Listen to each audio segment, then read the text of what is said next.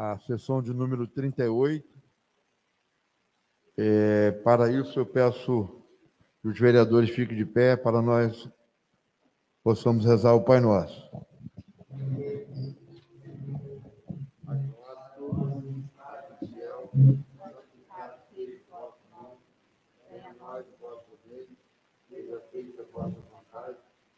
na terra como nos céus, e com nosso cada dia nos ajuda, perdoar as nossas ofensas, assim como nós perdoamos aqueles que nos ofendem.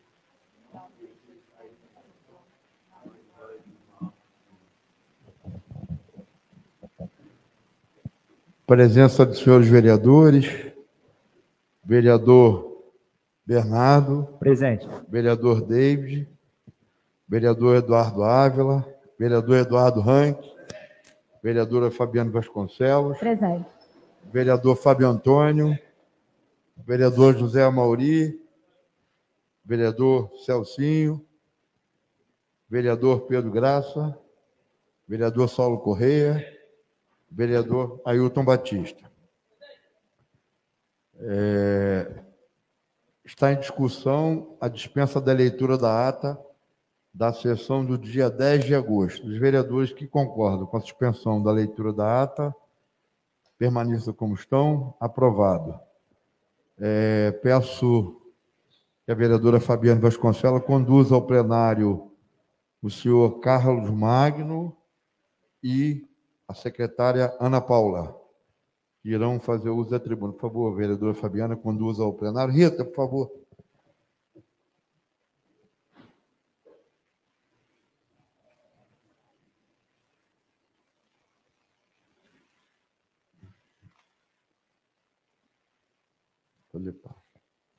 Então,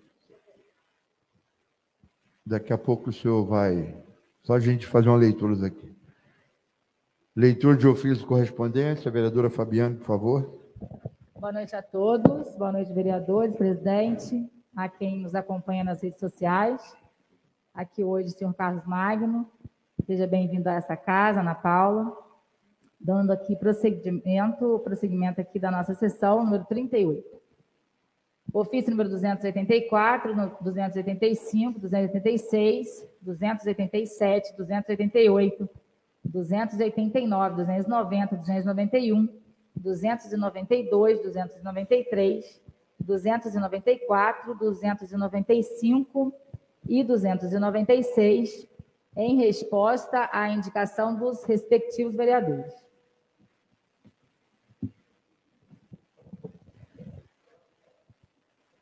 É, senhor Carlos Magro, diretor do Hospital do Conservatório, e a senhora Ana Paula terão 10 minutos. Vocês podem estar revezando. Você pode estar assumindo a tribuna. Aí, não sei quem vai iniciar primeiro. Ana Paula. Você é tesoureira, né, Ana Paula? Diretora administrativa.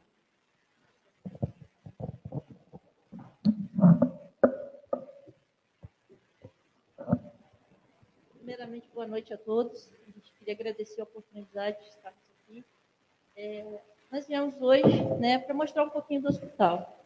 É, o hospital, ele né, veio a público né, nos últimos três meses, anteriores aí, a de abril, que a gente entrou com a Secretaria de Saúde para ajudar aí no enfrentamento ao Covid. E muita gente não conhece o Hospital Gustavo Monteiro João. O hospital foi fundado em 1931 foi mantido até a década de 80 pela associação, né, e prestava serviço para o INPS, do Fundo Rural. Na década de 80 foi feito um convênio com o Ministério da Saúde, que vem até hoje, né? Convênio esse que hoje é de 70 mil reais. Eu acho que todo mundo sabe que é um valor que, quase irrisório para se manter um hospital funcionando. Há quase quatro anos atrás, nós entramos no hospital.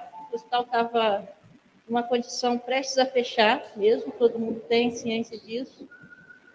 Nós tivemos uma luta muito árdua para colocar o hospital é, nos, nos moldes que ele está hoje. Não são os melhores, mas foi o que a gente conseguiu fazer. Tudo isso com muita luta, né? com muita ajuda também, com as parcerias que a gente fez com diversas lideranças políticas, né? a Câmara, né, na figura do vereador Antônio, é, deputado Luiz Antônio, o prefeito Fernando Graça, a secretária de Saúde, todas as pessoas que é, chegaram junto com a gente e trouxeram o hospital até onde ele está hoje. Todas as verbas do hospital, né, elas são, elas vêm através de emendas, a maioria delas. Tirando a prestação de serviço do SUS, todas elas têm, são destinadas. Né, não posso gastar com qualquer coisa. Então, é, nós investimos da melhor maneira essas verbas, a fim de colocar um hospital aí de quase 90 anos, que tinha muitas coisas para serem melhoradas, né? e muitas exigências legais a serem cumpridas. E a gente fez tudo isso, né? Falta muita coisa ainda, mas o mais importante da gente ressaltar aqui hoje é que a gente conseguiu tirar o hospital daquele vai fechar. E hoje a gente tem um hospital que tem o funcionário recebendo em dia, que tem todos os tributos referentes aos direitos dos funcionários pagos. A gente tem um hospital que, no sábado, como os senhores sabem, foram convidados, vai re reinaugurar uma área que ia cair, né? Então, todas essas verbas que entraram foram bem utilizadas, né? Acho que a gente pode falar isso. Foram é, feitas prestações de contas enviadas para os órgãos concedentes, que estão à disposição de qualquer pessoa que precise, que queira ver essas prestações de contas, ficam disponíveis no hospital e vem para a prefeitura uma cópia, né? Então, a gente veio hoje para mostrar que a gente está fazendo um trabalho que eu acho que está sendo bem feito, né? E também para ressaltar que o hospital precisa continuar tendo investimento. Por quê? A gente tem um convênio com a prefeitura, subvenção, né? Que nos ajuda a compor a, a verba para o pagamento mensal.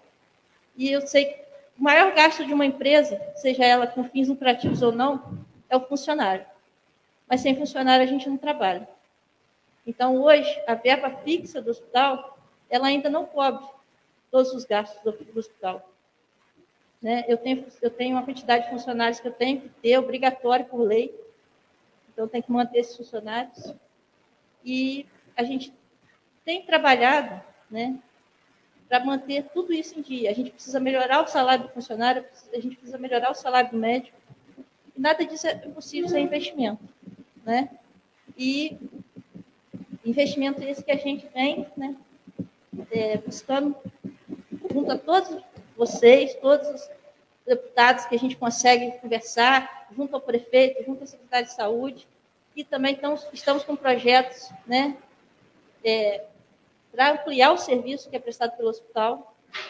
Né? Esse é o nosso, nosso objetivo agora, ampliar o serviço que o hospital presta para aumentar a verba.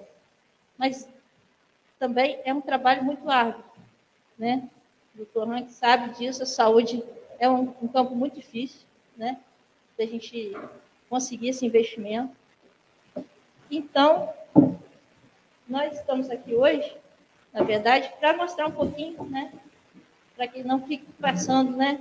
Que a gente está recebendo verbas sem prestar conta, a gente está prestando conta de tudo. Né? E pedir encarecidamente que, se puder, a ajuda de todos seriam muito, muito bem-vindos. Né? O sonho do hospital hoje né? depois de quatro anos. Há quatro anos a gente estava com perigo de fechar, com medo de fechar. O sonho nosso hoje é que o hospital seja autossustentável. É o quê? É o seu serviço pagar a sua despesa. É um sonho distante ainda. Não vou falar que vai ser de hoje para amanhã. Demanda muito trabalho. Mas é o que a gente está objetivando. Né? No mais, muito obrigada pela oportunidade. Vou passar a palavra para o presidente do hospital para que ele possa prosseguir aí, tá, gente? Muito obrigada.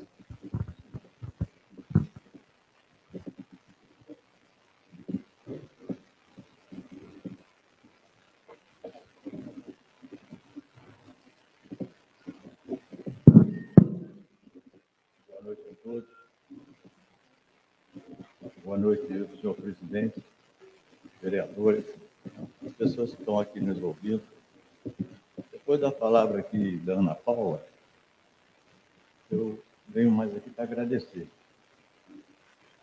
Agradecer a todos vocês, agradecer ao Saulo, ao Fábio Antônio, aos vereadores da gestão passada, que tanto nos ajudou, e vocês que estão agora aqui no momento, Fabiane também, sempre presente com a gente, e vocês que estão agora aqui, né, nessa gestão nova, eu quero parabenizar o presidente pelo excelente trabalho que ele está fazendo, já se dá para notar.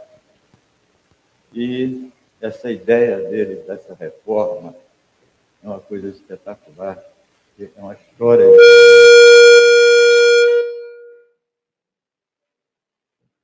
História de Valença que eu lembro de um retrato que eu vi dessa praça aqui de frente, não tinha uma árvore.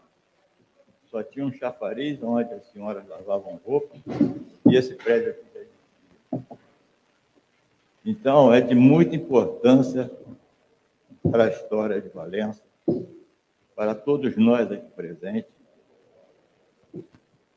Eu venho aqui nessa Câmara hoje e eu fico lembrando dos meus amigos que por aqui passaram. Vitinho, o José Luiz,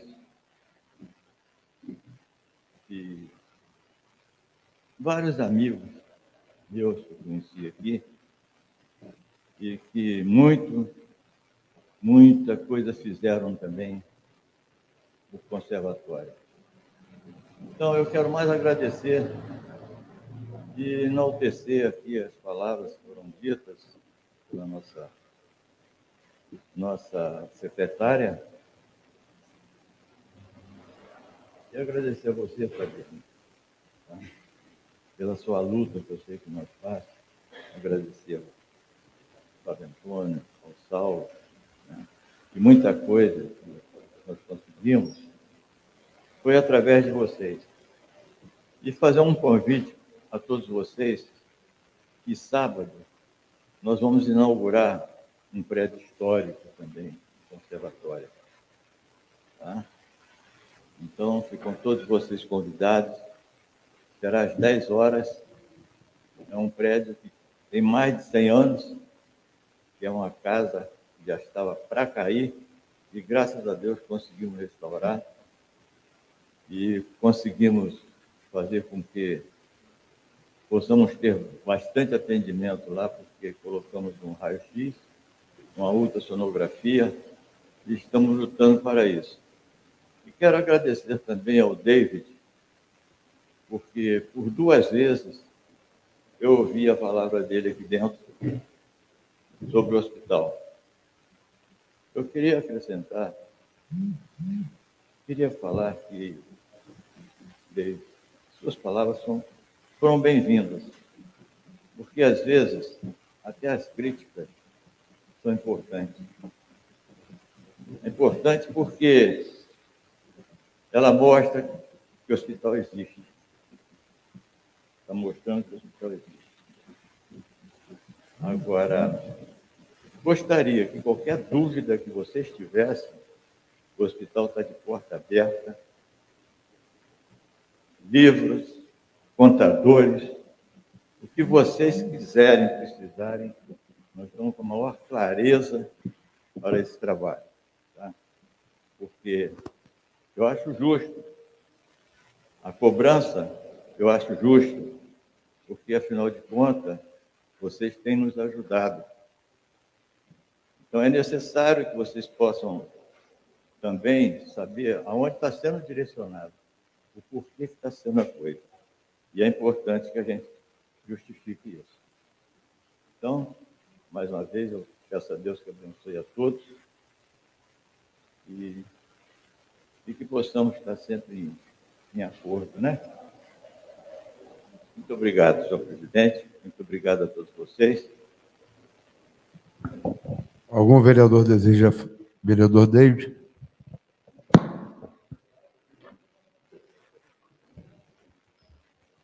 Boa noite, presidente, vereadores, assembleia que nos assiste internautas que acompanham a nossa sessão.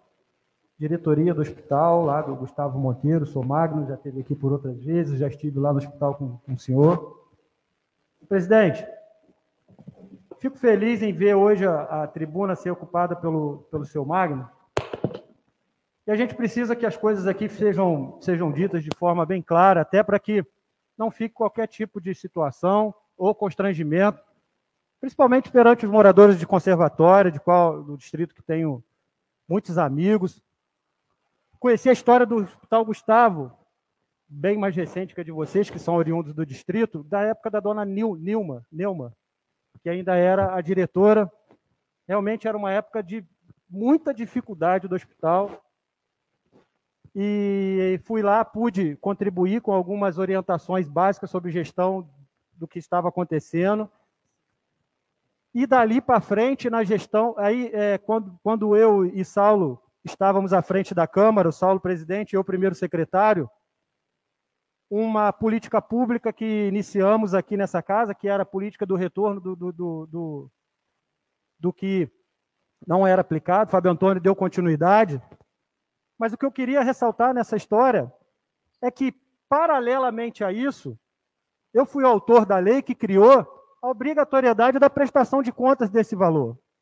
E aí, me dirijo ao seu, seu Magno, que eu já tive o prazer de conhecer, e, e, a, e a, secretária. Não, tem, não é nada pessoal contra a pessoa, de quem está à frente. Acho até que é uma abnegada a pessoa que assume um encargo desse. Porém, quando vem prestar conta aqui, só Magno, não está prestando conta para o vereador dele, vem para mim, não, está prestando conta para a sociedade. Eu exerço uma representatividade constitucional que me obriga ao dever de saber o que está acontecendo. A última solicitação minha aqui foi com relação ao convênio feito com a prefeitura, onde foram aplicados quase um milhão de reais no Hospital Gustavo Monteiro. Isso tem que ser uma rotina de trabalho, porque é a minha função estar tá aqui para saber como que vocês estão gastando o dinheiro que foi recebido da dona Maria, do seu João, do, do, do enfim, do, dos moradores de Valença e de Valença inteira, não só de conservatório. Hoje o Gustavo Monteiro, com o programa de catarata, com as portas abertas do pronto-socorro, ele atende a cidade de Valença. Hoje é um hospital que ele transborda conservatório, ele não é mais restrito àqueles atendimentos que tinham ali em conservatório. Então, quando a gente vem na plenitude do exercício constitucional do direito do controle externo, é porque eu não, não, não sou contra a direção atual, o senhor Carlos ou quem estiver lá. Pelo contrário, acho que esse é o momento de vocês, inclusive, não cometerem os erros que foram cometidos no passado, que a gente sabe que existe. E de abrir também para o que hoje tem a, a transparência é, é, pública exige, com a lei de transparência ativa e passiva. Então, esse exercício da prestação de contas, o que hoje em gestão a gente chama de compliance, ele precisa ser absorvido por quem recebe dinheiro público e precisa ser exercido de forma também corriqueira. Né?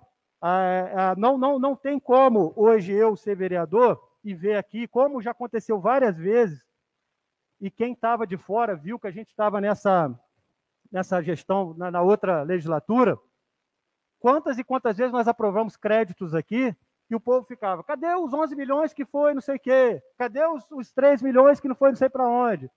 Então, quando a gente traz os agentes públicos que são executores daquela verba, é para isso. Não é porque eu sou contra ou a favor de direção nenhuma, não sou contra nem a favor de ninguém, eu sou a favor do meu trabalho e de quem me elegeu. Então, quando eu peço a prestação de contas, e já falo de antemão, que a prestação de contas que veio no meu requerimento, ela ainda exige mais ainda, porque no final o hospital fala que as notas fiscais, recibos de pagamento estão anexados na prestação de contas enviada à prefeitura, bem como a cópia fica arquivada no hospital. A minha cópia não veio. Eu, eu vou, vou pedir, no, através do requerimento, as notas fiscais, porque eu vi aqui que foram feitas contratações diretas. E falo isso com a maior tranquilidade, sem querer atingir pessoalmente vocês, porque eu sei, conheço da idoneidade de todos vocês. Porém, a gente está no estado que é um dos estados mais corruptos do, do, do, do, Brasil, que é o Rio de Janeiro. A gente teve um governador caçado por conta de, de, de problemas na Secretaria de, da, no, do Estado de Saúde, com um ano e pouco de, de governo de, mandato. Então, quando a gente usa dinheiro público hoje no Brasil, a gente precisa disso para poder, quando as pessoas indagarem, cadê um, quase um milhão de reais que foram aplicados no Gustavo Monteiro? A gente sabe que, olha, lá existem pessoas sérias, como o senhor Carlos Magno, e eles prestaram todas as contas, as notas fiscais estão todas aqui, as contratações estão todas aqui, estão de acordo com o valor de mercado e proporcional ao que foi exigido. Então, acho que a gente precisa de, desanuviar a, a, nossa função e fazer o uso pleno do que manda conforme vereador. No mais, dar parabéns novamente à direção do Hospital Gustavo Monteiro e dizer que esse exercício da prestação de contas ele vai ser exercido de forma ainda mais é, contundente e de forma mais corriqueira, tá certo? Obrigado, parabéns pelo ofício de vocês aí.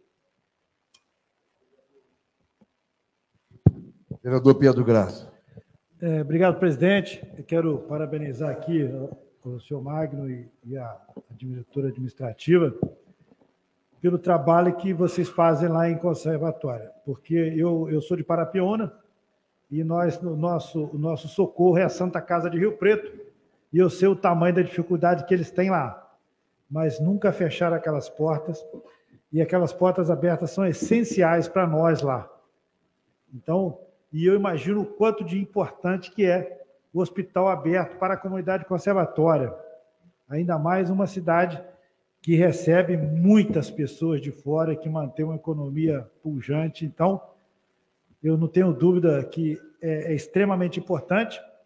E o senhor Magno aí, com esses cabelos brancos aí, talvez nem precisasse estar lá, mas está se doando, entendeu? Que, mostrando que, que ainda tem gás para queimar, entendeu? E trazendo, é, é, vamos dizer assim, condições de trabalho para aquela comunidade. Então, eu fico aqui, quero parabenizar vocês, quero é, é, agradecer a Conservatória e a vocês por ter, terem recebido o pronto-socorro Covid lá, que foi fundamental para aqui, para o município, para a sede aqui, porque a gente estava no sufoco, aquela aumentando os casos, e Conservatória não recusou em receber os doentes lá, foram todos muito bem tratados, não tivemos notícia de qualquer coisa diferente. Tenho certeza que a estrutura foi da melhor possível. Entendo o colega David que a gente, nossa função número um é fiscalizar e temos que fazer, entendeu? Mas não tenho dúvida nenhuma da lisura que foi tratado tanto da, da parte da prefeitura quanto do hospital de conservatória sobre qualquer recurso, qualquer centavo que chegou lá. Então, parabéns, fiquem com Deus e vamos para frente. Muito obrigado. Outro vereador? Vai falar, Fabiano? Vereadora Fabiana. Boa noite. Boa noite, seu Magno, Ana Paula. Bom, eu posso falar até tio, né? É uma amizade aí até que transcende famílias. É, eu estou no distrito há 20 anos. É, entendo, muitas das vezes, a colocação do vereador David, sempre parabenizando, é um companheiro de casa aqui que a gente vê. Não é à toa que ontem comemorou-se aí o seu dia, é um advogado brilhante. É, mas quem sabe realmente e fala, muitas das vezes, com o coração, né, eu posso até, inclusive, dizer que eu assino embaixo. Na verdade, a sua direção nesse na, no, no, segmento do Hospital Gustavo Monteiro Júnior é até uma doação. Quem sabe, quem conhece tio Magno, quem conhece tia Leia, conhece os meninos, né? Inclusive Marcos aí, já não está entre nós, Maristela, Marcelo, sabe da sua competência, da sua idoneidade, da sua entrega. Eu quero te parabenizar. Muitas das vezes você tentou, inclusive até fraquejou, né? Nas nossas conversas aí, inclusive quando começou a sua gestão, é, muito ainda, ficou muito assustado com tanta coisa para se fazer ainda, com tanta dívida, com tanta folha. É, é, os números eram alarmantes com relação a, a, a negatividade, principalmente dentro das contas do hospital, mas com a política de parceria, que é a que eu volto a dizer, é a que eu concordo. Aqui somos eleitos 12 vereadores. Eu acho que Valença necessitava até de mais, porque realmente é uma extensão muito grande. Mas aqui nós somos 12 vereadores, um prefeito, e para administrar isso tudo. E para ter e dar aí essa, esse retorno que a população necessita e tanto precisa. Então, eu sempre, né, através aí da nossa, é, é, do nosso mandato, e inclusive até antes, né, eu tenho aí um legado do meu marido Fabrício, através também do deputado federal Felipe Bournier, tenho um carinho tremendo por aquele lugar, não é à toa que na última eleição foi o deputado federal mais votado de conservatório, com muito orgulho. Então, a gente faz aí o nosso trabalho, a gente vai continuar fazendo. Na última terça-feira, a gente entrou com um novo requerimento aí para sensibilizar nosso presidente, a nossa mesa. Eu tenho certeza que essa ajuda vai vir aí para o nosso hospital. As contas não fecham, né? Para quem quer aí é, é, é, um balancete ainda mais detalhado do hospital. Eu tive o prazer de estar lá em 2017, né, com a nossa querida Nilma. Fiquei sabendo de toda a, a, os pormenores das contas realmente do hospital. Hoje essa reforma foi feita e vai ser entregue no sábado através dessas emendas possíveis, né, de deputados, inclusive do Felipe. Então, é, é, não tem mais o que se falar com relação a isso. E quem ainda tem essa dúvida, que vá, né, marque uma visita pessoalmente no hospital, eu tenho certeza que tudo vai, vai ser esclarecido. Bom, e outra colocação que eu quero também falar, indo de encontro aí com a fala do vereador David, com relação ao valor, que inclusive vocês não tocaram no assunto, eu queria até que o Rogério, lá o microfone está com o senhor, que vocês é, façam um, um, detalhamento com relação do valor implementado lá com a instalação da, da, da parte do Covid e, que, e o que isso trará de benefício, inclusive fixo para o hospital, o que permanente ficou lá dessa ação, né, que a gente sabe que é uma essa doença horrível, que teve que ser implementado no Hospital Gustavo Monteiro Júnior, e o que ficou com esse implemento de quase um milhão, que vai ficar fixo aí para aquela população estar tá usando, e aí para os valencianos naquele hospital. Então, é, o investimento né, foi de 117 mil, que foi utilizado para adequar as instalações, né, colocar é, rede de oxigênio em todos os leitos das enfermarias, compra de alguns equipamentos, entre eles monitores cardíacos, é, diversos outros equipamentos que né, precisavam, oxímetros, aparelhos de pressão. É, agora vai me fugir porque eu fico nervosa, tá, gente? Desculpa, mas eu passo tudo isso por escrito também, está tudo no convênio direitinho. Então, foram, foram feitas essas adequações. A maior parte desses 117 mil foi para a parte do oxigênio né? Porque tinha que ter uma infraestrutura muito boa para que a gente não tivesse, né? É, nenhuma intercorrência com o paciente lá em conservatório por falta de oxigênio. E com alguns outros equipamentos, né? Para adequação da UI, né? Nós ficamos com três leitos de UI que o hospital não tinha, né? O fixo para o hospital e esses equipamentos e esse investimento na estrutura do oxigênio ficou para todo o hospital. Então, hoje o hospital tem duas enfermarias com, leito, com pontos de oxigênio encanado né, em todos os leitos e na UI, que foi montada né, para atendimento do Covid. Foram três parcelas de 260 mil. Né, abril, maio, e, abril, maio e junho. Para pagar profissionais, materiais e medicamentos. E todas as outras coisas que precisam para manter um hospital funcionando luz, alimentação, água, transporte, tudo que é necessário né, para fazer o funcionamento do hospital. Os profissionais, né, os médicos e os enfermeiros e técnicos, apoio, foram todos contratados né, dentro da cidade de Valença. Nós, estávamos, nós temos dificuldade para conseguir médico clínico, Então, quem conseguiu os médicos para a gente foi o doutor Fernando Galvão, ele que montou a equipe médica. Nós pagamos o salário que o Hospital Escola pagava, recorremos ao Hospital Escola para pedir né, orientação a respeito dos salários, porque nós temos o salário que é praticado pelo hospital, que é a realidade do hospital, que é o que o hospital pode pagar para os seus médicos e para os seus enfermeiros. Os enfermeiros e médicos do Covid, obviamente, é diferente, né, por conta do risco da doença. Então, essas três parcelas de 260 mil foram utilizadas para isso. Compra de medicamentos.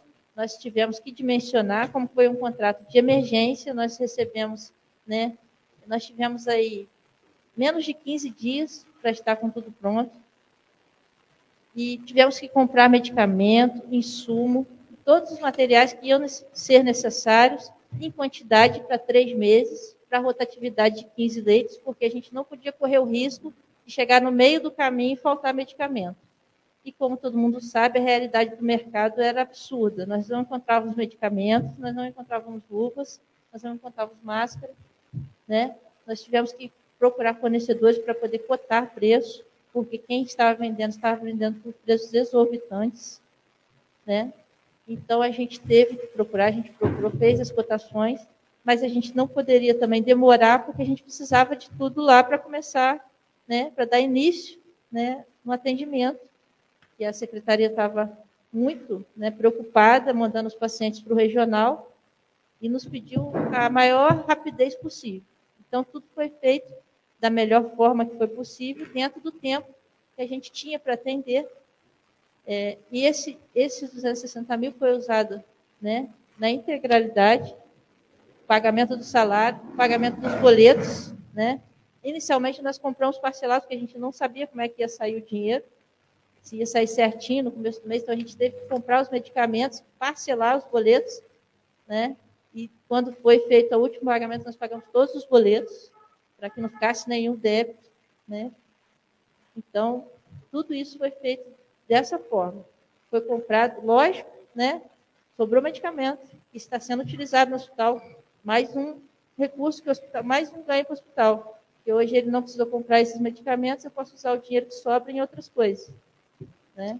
Então a gente teve esses ganhos, é, a infraestrutura e também um ganho muito importante que talvez, né, a gente não, não consiga dimensionar, que foi a experiência, né?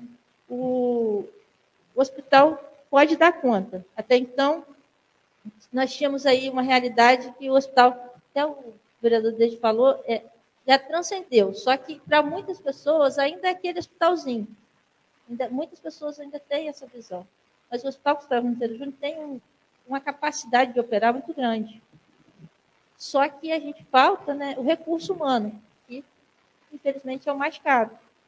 E aí a gente ganhou essa experiência, que a gente pode, né, com investimento, a gente pode sim, pode melhorar muito o atendimento ainda, a gente pode voltar a fazer obstetrícia, a gente pode voltar a fazer cirurgia geral, a gente pode, tudo isso. Nós temos dois centros cirúrgicos muito bons, né? Não sei se vocês conhecem, quem não conhece, convido a conhecer, são centros cirúrgicos aí muito bem equipados, que tem capacidade para fazer diversas cirurgias, só que a gente não pode né, utilizar porque nós não temos profissionais, não temos condições de pagar esses profissionais. Então, foi, fei foi feita dessa forma.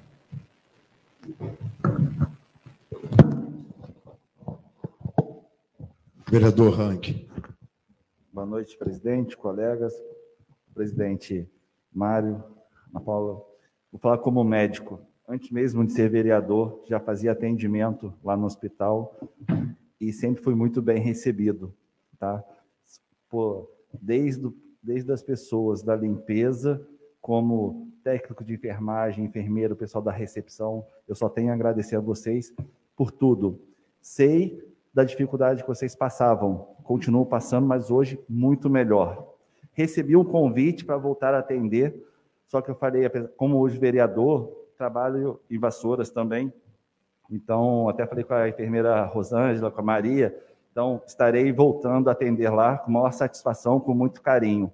Tá? Então, podem confiar em mim, o que precisarem, pode contar comigo como médico e como vereador, tá ok? Então, só quero aqui parabenizá-los pela essa luta e pela essa correria que vocês têm feito e não abandonaram nunca o hospital. Tá bom? Muito obrigado. Boa Vereador noite, Saulo Corrêa. Boa noite, presidente. Boa noite, meus pares. É, é só parabenizando vocês pelo, pelo trabalho lá. Eu, quando presidente dessa casa aqui, tive muito, não só eu, mas é, a pedido do vereador Fábio Antônio, que sempre, sempre me pedia é, para sempre alocar um recurso aqui lá, da, para o Hospital Gustavo Monteiro Júnior, que é assim que a gente assumiu o primeiro mandato, o hospital estava se encontrando em muita dificuldade com os salários dos servidores lá, dos colaboradores atrasados, e tanto no primeiro quanto no segundo ano do meu, da, do, do, da minha presidência aqui, a gente conseguiu repassar para o prefeito, com a condição do prefeito repassar para o hospital, é, aproximadamente 600 mil reais. E depois o Fábio Antônio continuou com esse trabalho. Então, é só é para dizer que, que vocês fazem jus a isso, porque vocês são pessoas abnegadas, pessoas que trabalham. E hoje, graças a Deus, o Gustavo Monteiro Júnior não é só uma, uma referência para a conservatória, mas sim uma referência para toda a nossa região. Então, pedindo que Deus continue iluminando o caminho de vocês aí, derramando é, bálsamos de luz aí, para que vocês possam estar tá servindo com essa maneira digna é, é, é, a, a população do distrito de conservatória e adjacências. Mais algum vereador? Vereador Fábio Antônio. É, boa noite, senhor presidente, vereadores, internautas, assistência, funcionários. Eu e uma boa noite especial Ana Paula e ao Magno. Eu inicialmente fazendo uma referência positiva a todos os ex-presidentes de diretoria que passou por aquele hospital. Podem ter certeza absoluta do que estou falando. Eu hoje eu fico muito satisfeito do Magno estar aqui. Nasci naquele hospital. Minha madrinha Maria Nossá deu uma vida pelo aquele hospital. Meu pai, como médico, não poderia ser diferente no município, fez medicina no município por 55 anos. Muito contribuiu também para aquele hospital, sem falar nos que passaram. Seu Cordovil, Dona Dalila, Maria Nossá, Doutor Robésio, a Marinha hoje, e o nosso baluarte, médico, doutor Marcos Marinho, quantos passaram por lá? Mas o doutor Gustavo foi uma referência sempre para o povo de conservatório. Doutor Zé Luiz Pinto, lá atrás, doutor Zé Luiz Pinto. E doutor Gustavo Monteiro Júnior foi um, uma pessoa referência. Aquele médico da cidade, o médico da vila, aonde se buscava atendimento a ele, um tratamento a ele, qualquer hora do dia, qualquer hora da madrugada. E Jesus é tão perfeito, trabalha tanto, que colocou naquele hospital o Magno. Magno é um cara evoluído espiritualmente, o Magno é um cara que transborda paz, transborda seriedade. Sou amigo dos filhos dele desde a infância. E conseguiu formar, Ailton, e colocar o hospital no ambiente onde você se sente bem, onde todos são integrados, ali é uma família. Você chega lá, você vê a alegria daquela pessoa ser prestadora de serviço daquela instituição de saúde. a gente nota lá dentro o calor humano. Quando meu pai esteve no Monte Sinai, Albert Sei, em Juiz de Fora, Hospital da Unimed, em Valença, o processo mais evolutivo dele na saúde dele, Pedro, foi no hospital escola. Por que no hospital escola? Porque ali ele era tratado com o remédio mais importante, que o doutor Rank está aqui, que não me deixa mentir, que um enfermo pode ter. O carinho, o trato, ser reconhecido não como um número, mas pelo nome. Teve lá o Caeba, teve lá o Marco, uns saem, outros não, é da vida. Enfim. Mas na legislatura passada, logo no início eu tive com o Magno e eu falei o seguinte: tudo que eu fizer e fiz, como botar um núcleo de atendimento à mulher agredida em Valença, como ter ajudado através do estacionamento rotativo, ter 41% do arrecadado para educação especial. Tudo que fiz, tudo que fiz, ficou mísero pela ajuda que com a mesa diretora o conjunto de mesa diretora, onde estava o Pedro, o Rafael, enfim, passou comigo na presidência, ficou mísero pelo que fiz, que tive para proporcionar ao Hospital de Conservatória. Por que que falo isso?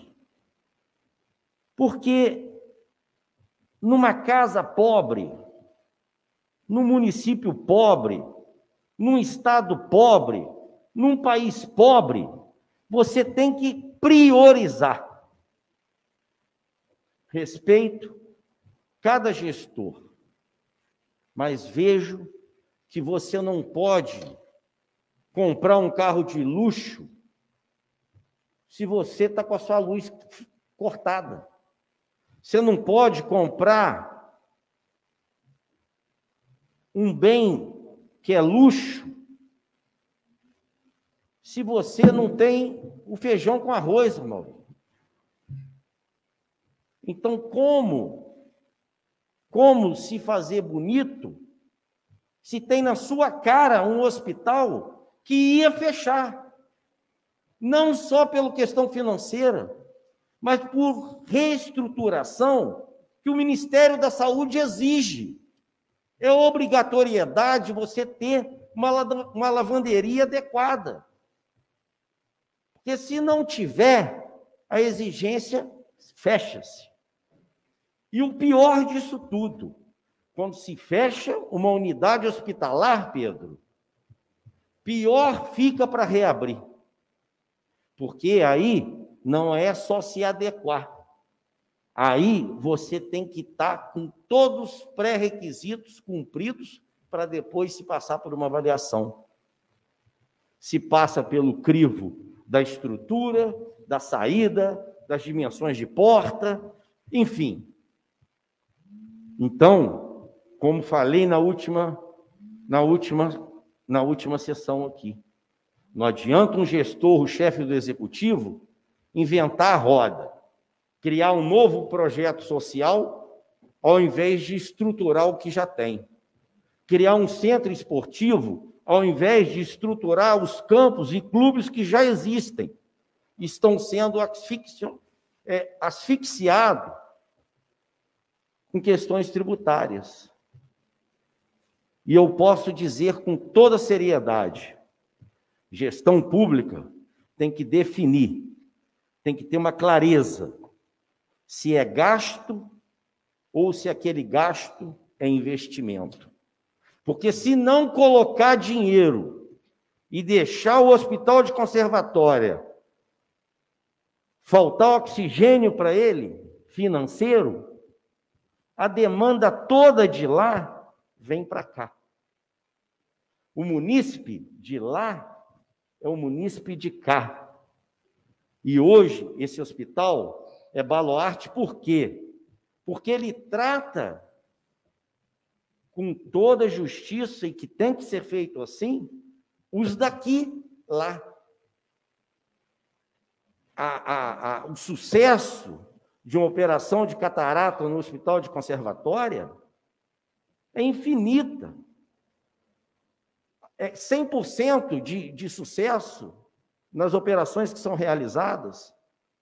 Pensa bem, Paulo, como é tão pouco o dinheiro para colocar, pergunto você, Ana Paula, quantas cirurgias em, média é feita por mês lá? São 30 cirurgias por mês. Você imagina se não fosse 30 valen... É um valenciano por dia, Mauri, que passa a ter a bênção de poder enxergar o alimento, de poder olhar com clareza para um filho. Porque se não operar de catarata, chega num certo ponto que a pessoa está cega.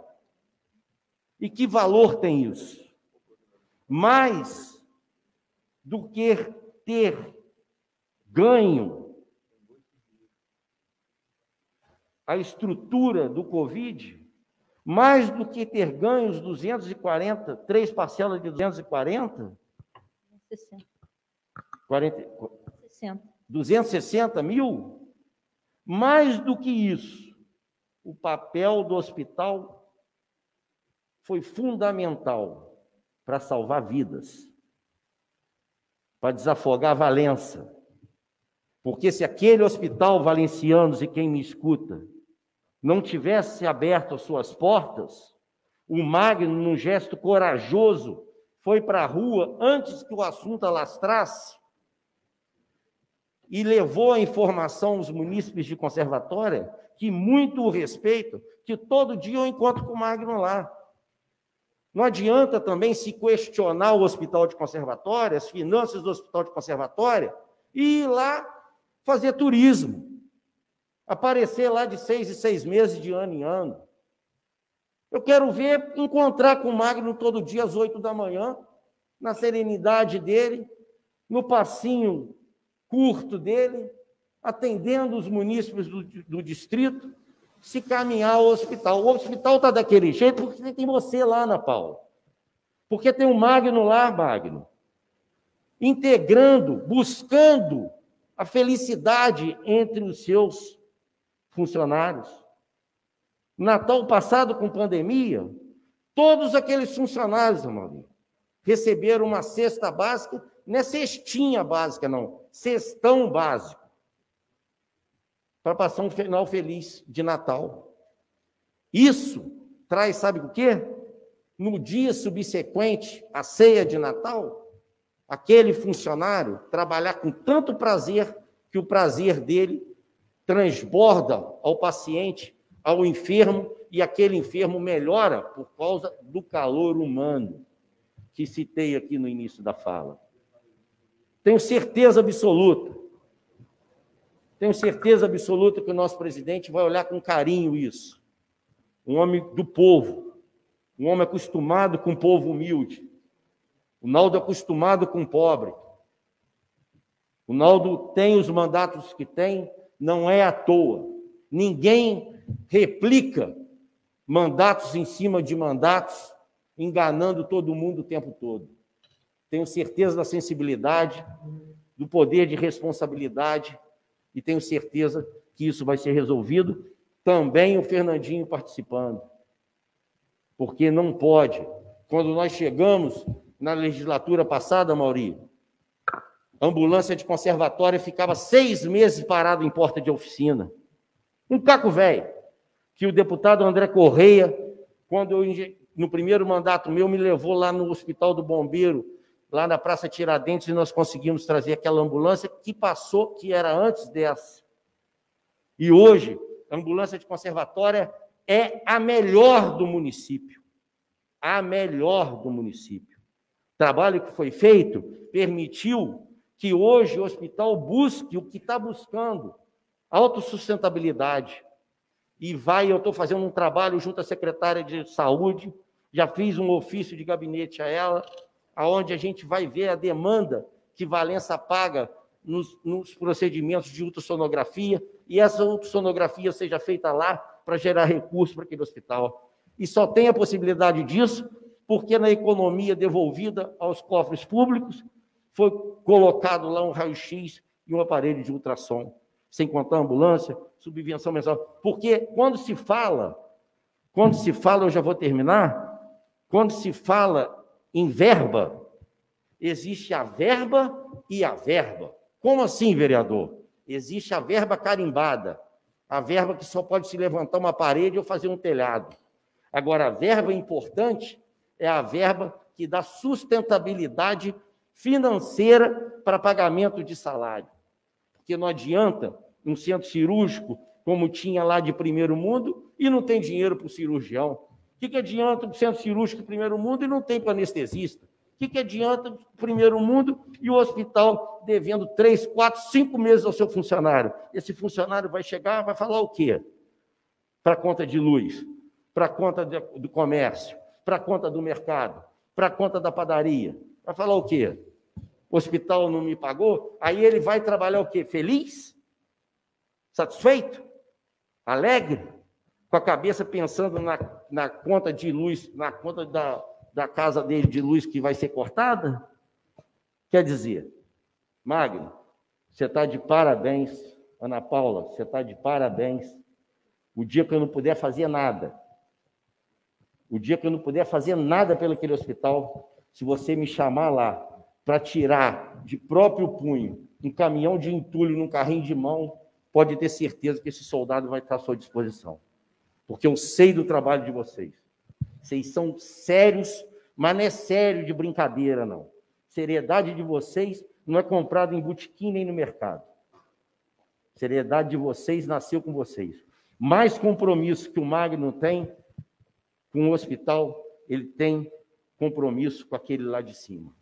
E nisso eu confio, e nisso eu ponho o meu nome à frente. Pode ter certeza.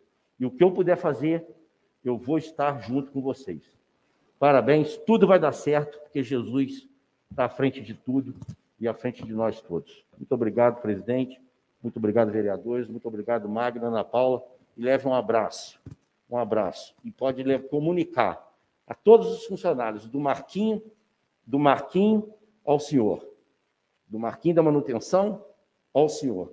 Pode ter certeza que tudo vai dar certo e tudo vai entrar nos trilhos novamente. O que não pode é a gente colocar a saúde financeira do nosso Hospital Gustavo Monteiro Júnior, do nosso querido Distrito de Conservatória, que atende não só os munícipes, como quem vem de Piabas, como quem vem de Valença, e principalmente também principalmente não, secundariamente, o turista, porque o turista, se um dia a terceira idade que nós recebemos tiver a notícia que o hospital de conservatória não funciona mais, pode ter certeza que não vai ser só a saúde financeira do hospital, vai ser a saúde financeira do distrito e do município, porque quem da terceira idade vai fazer turismo num lugar onde não tem onde ser atendido de maneira hospitalar.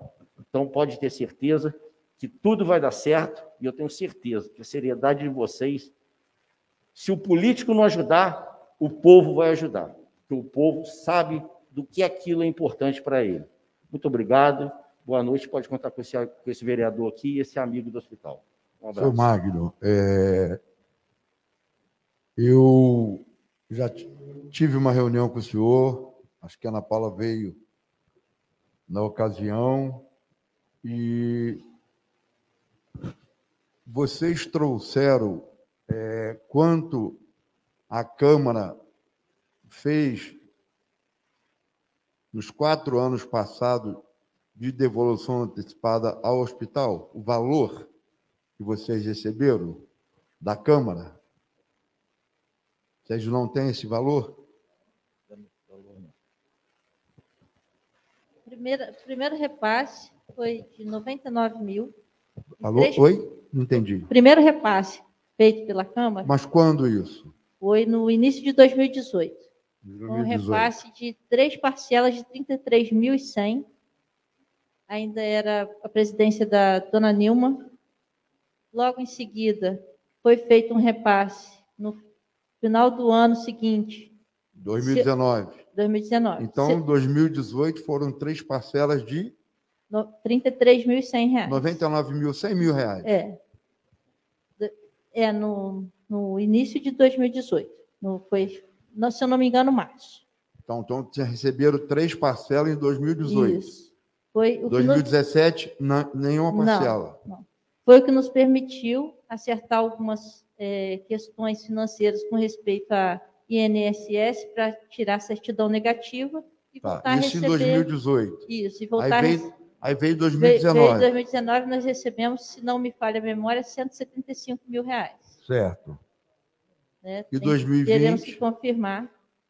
2020 recebemos 10 parcelas de 25 mil, mais o repasse no final do ano Mas essas parcelas foram do Paim. do PA. É, Do Paim. do, do PA Valença. é, o Programa Programa de Apoio é. do Hospital do Interior. Não, é o PA. É o da PA, Câmara. é, É, é. Não, da Câmara, da Câmara. Presidente, Não. pela, pela ordem. Da pela- Câmara. pela Câmara, a gente não tem, a Câmara não consta no balancete, porque ela não tem esse recurso alocado de- para vocês direto. Mas nós Ela faz recebemos. uma devolução antecipada, Isso. mas não é como verbo de Câmara. Presidente, pela Como? ordem. Como? Pela, pela É- ordem, senhor é- presidente. O- a, a, a lei que ela está falando, presidente, ela, ela se confunde um É, pouco. é, foi um. O PA é. que ela fala foi o PAIM municipal, foi um programa de assistência hospitalar municipal com a lei criada na Câmara em 2017, que previa uma ajuda do município às entidades Do cadastradas. município. É. Houve uma, uma, uma conversa entre o prefeito e a, a Câmara, em que se entendia que se, com a devolução, o prefeito tinha liberdade de depositar ou não. Ele fez esse depósito de, de acordo numa articulação política da Câmara para direcionar Entendi. ao Hospital Gustavo Monteiro, ao Hospital de Santa Isabel, mediante a prestação de contas periódicas, conforme a dito aqui já a lei do PAIM municipal. Isso, exatamente. Então, ô, Ana, é, eu, como eu disse aqui, eu não tenho dúvida da, da seriedade de vocês. Né? É, e o hospital Gustavo Monteiro Júnior, ele faz atende 100% SUS ou faz particular? O o hospital é 60% SUS. 60% SUS 60% SUS. e 40% 40% pode se fazer atendimento particular. particular. Sim. E- Esse, esse valor que vocês arrecadam particular, Esse vocês não têm. esse atendimento particular, hoje ainda é muito pequeno, né? É pequeno. Nós temos mês que te- temos 7 mil em consultas, temos mês que temos 5, temos mês que temos 2, varia Ah. conforme a procura da consulta dos especialistas que a gente tem Então, disponíveis. Ana, eu, eu fiz um levantamento aqui, antes de eu vir para a reunião com vocês, porque 2017 foi a legislatura anterior. Nada foi repassado ao hospital. Correto? Está aqui. 2018, 199 mil. Foi na gestão do, do presidente anterior ao Fábio Antônio. E depois foi uns valores de 10 parcelas de 25, Exato, dentro dos dois biênios. exatamente. Então deu um total de 250 mais mais 99. 100 mil. Não, Não, não. Teve o repasse de 99 mil em 2018. No, no, Vereador Saulo quer falar?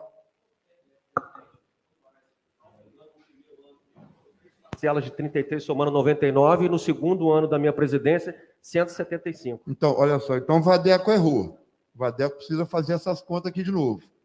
Isso aqui eu peguei na mão dele. E ela confirmou que 2017 não teve. Presidente. O que, que eu quero chegar, Ana Paula e seu Magno? É, eu assumi a Câmara com a perda de arrecadação. Eu disse ao senhor, nós tivemos uma perda de 64 mil mês. Correto? 64 mil mês. A nossa perda de arrecadação foi grande, devido à pandemia, o ICMS baixo, o ICS, acabou tudo. É, como a gente tem ainda três anos e meio, vamos colocar três anos e cinco meses, a gente consegue superar se a gente entender que, que pode ajudar o hospital, eu não vejo por que eu não ajudar. Só que eu já disse ao senhor uma coisa, eu, eu sou muito assim, franco. A Câmara, ela precisa ser cuidada também, senhor Magno. Não estou aqui dizendo que o hospital não tenha prioridade. Obviamente, se você optar pelo um prédio histórico, pelo um prédio de saúde, obviamente que o hospital tem a, o seu direito. É, eu peguei aqui, seu Magno, com todo respeito, os banheiros entupidos. Os banheiros entupidos. No mês de março, aqui desceu uma goteira, de, uma cachoeira d'água aqui. Então, se a gente também não cuidar do que a gente tem, e peguei ainda uma folha com, com vale-refeição com 100 reais a mais que foi pago em dezembro de 2020. O que me acarretou uma despesa maior, sem falar nos aumentos que tivemos. A Câmara, seu Magno, ela não tem um acervo digitalizado de suas leis. Se eu procurar, se eu pedir uma lei aqui hoje, a qualquer servidor aqui, eles vão me demorar 10 dias para me entregar essa lei. Porque não se cuida daquilo que é nosso. Nós temos um serviço que precisa ser digitalizado. Nós temos que acompanhar a modernidade para ter o arquivo do senhor lá de conservatório. O senhor vai acessar as leis ordinárias, as leis complementares, alteração na lei orgânica, Dentro do sistema do Senhor, a gente não tem. A gente tem um mutuado de leis ali em cima. A gente tem um prédio aqui que foi feito na gestão anterior, um projeto de, de energia elétrica, no valor de R$ 1.800, que o prédio pode pegar fogo a qualquer momento. E a licitação terminou segunda-feira. Ficou em 95 mil reais para arrumar a parte elétrica. Se você olhar lá em cima, está toda comprometida, ruída por rato. O que, que eu quero chegar? Quando a gente se faz devolução antecipada e a gente tem uma casa para cuidar, a gente tem que fazer os dois. Eu cuido da minha casa e ajudo a cuidar a outra. Correto? A Fabiane e, e os, os componentes da mesa constantemente me apertam. A Fabiana já entrou com dois requerimentos pedindo repasse para o hospital do senhor. Lá, não do senhor, de, de conservatório. Ela mora em conservatório. Agora eu falei, Fabiane, eu preciso primeiro arrumar a casa. Eu não posso deixar a Câmara, os, os servidores não eram identificados na rua como servidor. Hoje eles estão todos uniformizados. Só deve ter os servidores do senhor lá uniformizados, para que as pessoas identifiquem e saibam que eles são servidores. Você tem ali o, o funcionário de Libra, tem outros, a, a, nossa atendente, todos eles identificados. A gente quer dar dignidade ao servidor, precisa pagar três correção salarial que não pagaram, que é direito do servidor da Câmara Municipal não receber a database deles, que fala correção salarial. Se acumular, eles tiveram uma perda de 22%. Então, senhor Mário, eu me comprometo com o senhor e atender o pedido da Fabiane. Nós vamos superar o que foi pago em 2017, que não foi pago nada. Em 2017, o Vadeco vai enviar ao senhor, por escrito, que em 2017 a Câmara não repassou um centavo para o Hospital Gustavo Monteiro Júnior. Não passou. Eu não vou enganar o senhor, não vou enganar ninguém. O que eu quero é seriedade. Nós temos cinco meses. Eu prometo ao senhor que cinco meses nós vamos fazer uma economia para ajudar o Hospital Monteiro Júnior. Nós vamos fazer. Agora, eu preciso que a Câmara também seja a Câmara. Eu preciso que os vereadores tenham condição de chegar no Rio. O carro que eu peguei aqui, seu Magno, ele não tinha um pneu.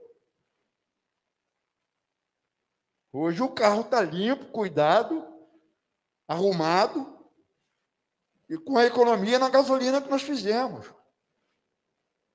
Eram 16 mil, nós passamos para 10 mil.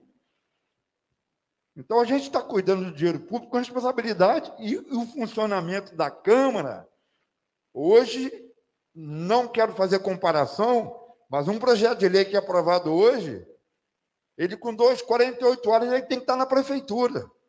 Se demorava 20 dias para sair da Câmara. Por, por, falta de funcionário, por falta de, de. Cada um faz a sua gestão. Eu só não vou, seu Magno, dizer para o senhor que eu fui melhor a ninguém. Eu vou dizer para o senhor o seguinte: seu Magno, Ana Paula, vocês podem contar com a Câmara, mas primeiro eu preciso ganhar essa organização, eu preciso dar condições de o senhor vir aqui dentro e respirar uma limpeza, que eu não, eu não tinha condições de vir, nem na Câmara eu podia entrar, porque principalmente que eu não era bem recebido. Mas graças a Deus, Deus me colocou aqui nessa cadeira, e nessa cadeira aqui eu vou honrar o meu nome. Eu vou honrar o meu nome. Não vai ser nenhum tipo de política que vai botar só no papel. A minha política vai chegar dentro do hospital do senhor, dentro do hospital do conservatório. Pode ter certeza disso. A partir de agosto, nós vamos economizar o que possível para mandar uma ajuda para o hospital. Que isso é criar um meio de fazer esse tipo de política que, para mim, é importante, sim, mas eu preciso, como disse o senhor, é fazer uma gestão que todos percebam que a Câmara Municipal de Valença é uma instituição e um poder independente e harmônico entre si. Mas a Câmara não pode perder a sua identidade como Câmara. Então, senhor Magno, pode ficar tranquilo, eu vou atender o requerimento da vereadora Fabiane, que sempre me aperta, e semana passada ela reiterou. Só que nem todos, seu Mário, ficam para votar os requerimentos.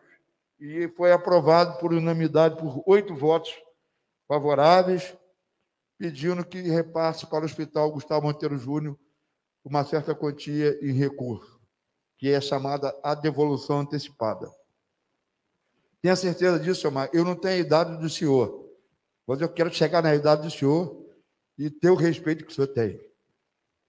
Então, Muito o senhor pode confiar, pode confiar no presidente Naldo, pode confiar na mesa diretora, que nós vamos trabalhar para fazer igual ou melhor. Nós vamos estar lá junto do hospital e junto de quem precisar. Qualquer cidadão de Valença tem que ser bem recebido dentro da Câmara. Qualquer cidadão de Valença tem que, ter, tem que ser aqui bem aceito e não pode ter nenhum tipo de discriminação com ninguém. As portas da Câmara estão abertas para todos e todas. Não temos um projeto pessoal, nós temos um projeto de política voltada para a instituição Câmara Municipal de Valença. Muito obrigado pela tua presença e possa fazer as suas considerações finais. Muito obrigado, presidente. Na verdade, a gente sabemos né, que a saúde é primordial. E o Hospital Gustavo Monteiro Júnior, atualmente, ele tem salvado muitas vidas. Tem salvado mesmo pessoas de acidente, pessoas que vão lá. Nós temos um médico pediatra muito bom, temos, temos um médico é, ginecologista, tudo por conta do hospital, porque é necessário, a comunidade estava saindo de lá pessoas que não têm condições de pagar uma passagem de ônibus, mas tinha que vir para cá trazendo crianças. Né? E hoje, graças a Deus, a gente está fazendo esse atendimento lá. E temos o, o, o, o médico doutor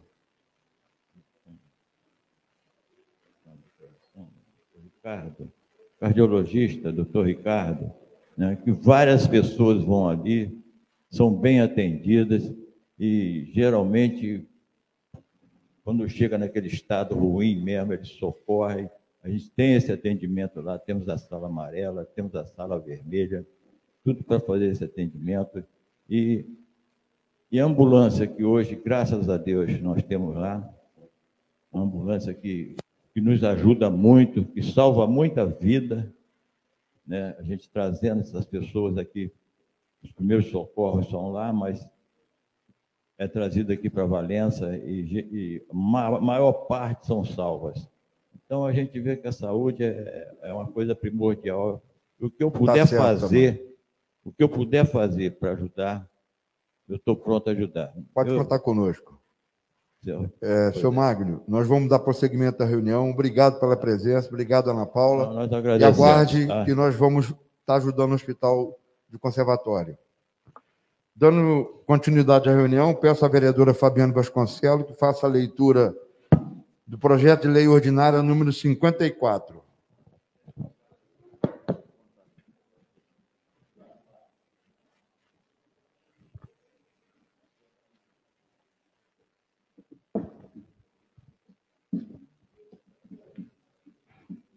Projeto de Lei Ordinária número 54, Poder Executivo, mensagem 24 de 2021. Tenho a- temos a honra de submeter à elevada consideração de Vossas Excelências o projeto de lei anexo que dispõe sobre abertura de crédito especial até o valor de 480 mil reais e da outras providências. O presente projeto de lei tem por finalidade atender aos anseios da Secretaria Municipal de Saúde por meio do memorando 345 de 2021, que deu origem ao processo administrativo 14.979 de 2021, que visa a abertura de crédito especial destinados ao enfrentamento da emergência Covid-19, para custeio de unidades de terapia intensiva UTI. Nesse contexto, em virtude da necessidade de executar o objeto acima elencado, entendemos que o poder público não pode se excusar de seu agir, sendo necessário abrir crédito especial, o que fazemos solicitando a autorização dessa Igreja Casa Legislativa através do anexo projeto de lei. Dispensando maiores justificativas pela própria clareza da proposta, submetemos o projeto de lei em anexo à consideração do plenário dessa Igreja Casa Legislativa, confiante que o assunto merecerá de Vossa Excelência e dos dignos vereadores a habitual atenção com que trata de matérias do nosso município. O que fazemos com pedido de urgência, na forma do artigo 51 da Lei Orgânica do Município, por, por tratar-se de serviço público relevante. Aproveitando a oportunidade para reiterar às Vossas Excelências protesto elevado apreço. Luiz Fernando Furtado da Graça, prefeito. Projeto de lei será encaminhado à Comissão de Constituição e Justiça. Vereadora Fabiane, projeto de lei ordinária 55. Projeto de Lei Ordinária, número 55 de 2021, mensagem 25 de 2021. Temos a honra de submeter à elevada consideração de Vossas Excelências o projeto de lei anexo que altera a Lei número 3.272, de 8 de junho de 2021, que dispõe sobre a- o recolhimento de veículos ou partes de componentes de estrutura de veículos abandonados nas vias e logradouros públicos do município de Valença. A proposta em tela objetiva atender o governo municipal para melhor adequar os ditames da lei vigente, de modo a permitir que a exploração do serviço seja realizada por convênio ou concessão celebrado pelo Poder Público Municipal, diante da exclusividade de criação do depósito público para o recolhimento dos veículos abandonados. Verifica-se a inviabilidade de operação e implantação da lei em nosso município. Haja vista a necessidade de dispêndios financeiros com aquisição de imóvel e de pessoal para o trabalho. Nestes termos, visando dar cumprimento à lei municipal, que trata de serviços de grande relevância para a população valenciana, apresentamos o anexo projeto de lei com alterações pretendidas. Vale ressaltar a importância da implantação da Lei 3.272 em nosso município, vistos inúmeros transtornos gerados pelos veículos abandonados, que afetam o estacionamento de outros veículos e chegam a se transformar em um sério problema de saúde pública e segurança, na medida em que, em muitos casos, a carcaça e os restos de veículos passam a permitir o acúmulo de sujeira e de água e viram depósitos de dejetos e esconderijos para usuários de drogas e assaltantes. Diante de tais razões, em observância ao artigo 23 da Constituição Federal e o artigo 13, inciso 1 da Lei Orgânica do Município, submetemos o projeto de lei anexo para consideração do plenário dessa Igreja Casa Legislativa, confiante que o assunto merecerá de Vossa Excelência dos dignos vereadores habitual atenção com que trata as matérias do nosso município. O que fazemos com pedido de urgência no artigo, na forma do artigo 51. Aproveitamos a oportunidade para reiterar às Vossas Excelências protesto de elevado apreço. Luiz Fernando Furtado da Graça, prefeito. Projeto de lei que sofre alteração é aquele projeto de lei, David, do, dos carros abandonados. Algumas alterações, só a questão de depósito, que para ser municipal, para aproveitar o convênio já existente. Se a gente puder dar uma celeridade junto com a Comissão de Obras e Serviços Públicos, a gente fazer a limpeza na cidade aí vai ficar bacana. Aí depende de vocês aí. Então, será encaminhado à Comissão de Justiça e Redação. Leitura dos requerimentos. Vereador, requerimento do vereador David. Leitura de requerimento. Requerimento número 220, excelentíssimo senhor presidente da Câmara Municipal de Valença, o vereador David Nogueira, que vem na forma regimental ouvido do outro plenário, requerer que a secretária municipal de administração informe a relação de todos os nomeados em cargos comissionados e funções gratificadas da Prefeitura Municipal de Valença. Certo de que seremos atendidos em mais desse pleito, reiteramos os nossos protestos de estima e levada consideração. Justificativa. Através desse requerimento, solicita a lista completa com nome, cargo, portaria de eliminação de todos os cargos comissionados e funções ratificadas, existentes atualmente na Prefeitura Municipal de Valença. Verifica-se que investidura em cargos ou emprego público depende de aprovação prévia em concurso de provas ou de provas e títulos, de acordo com a natureza e a complexidade do cargo ou emprego público.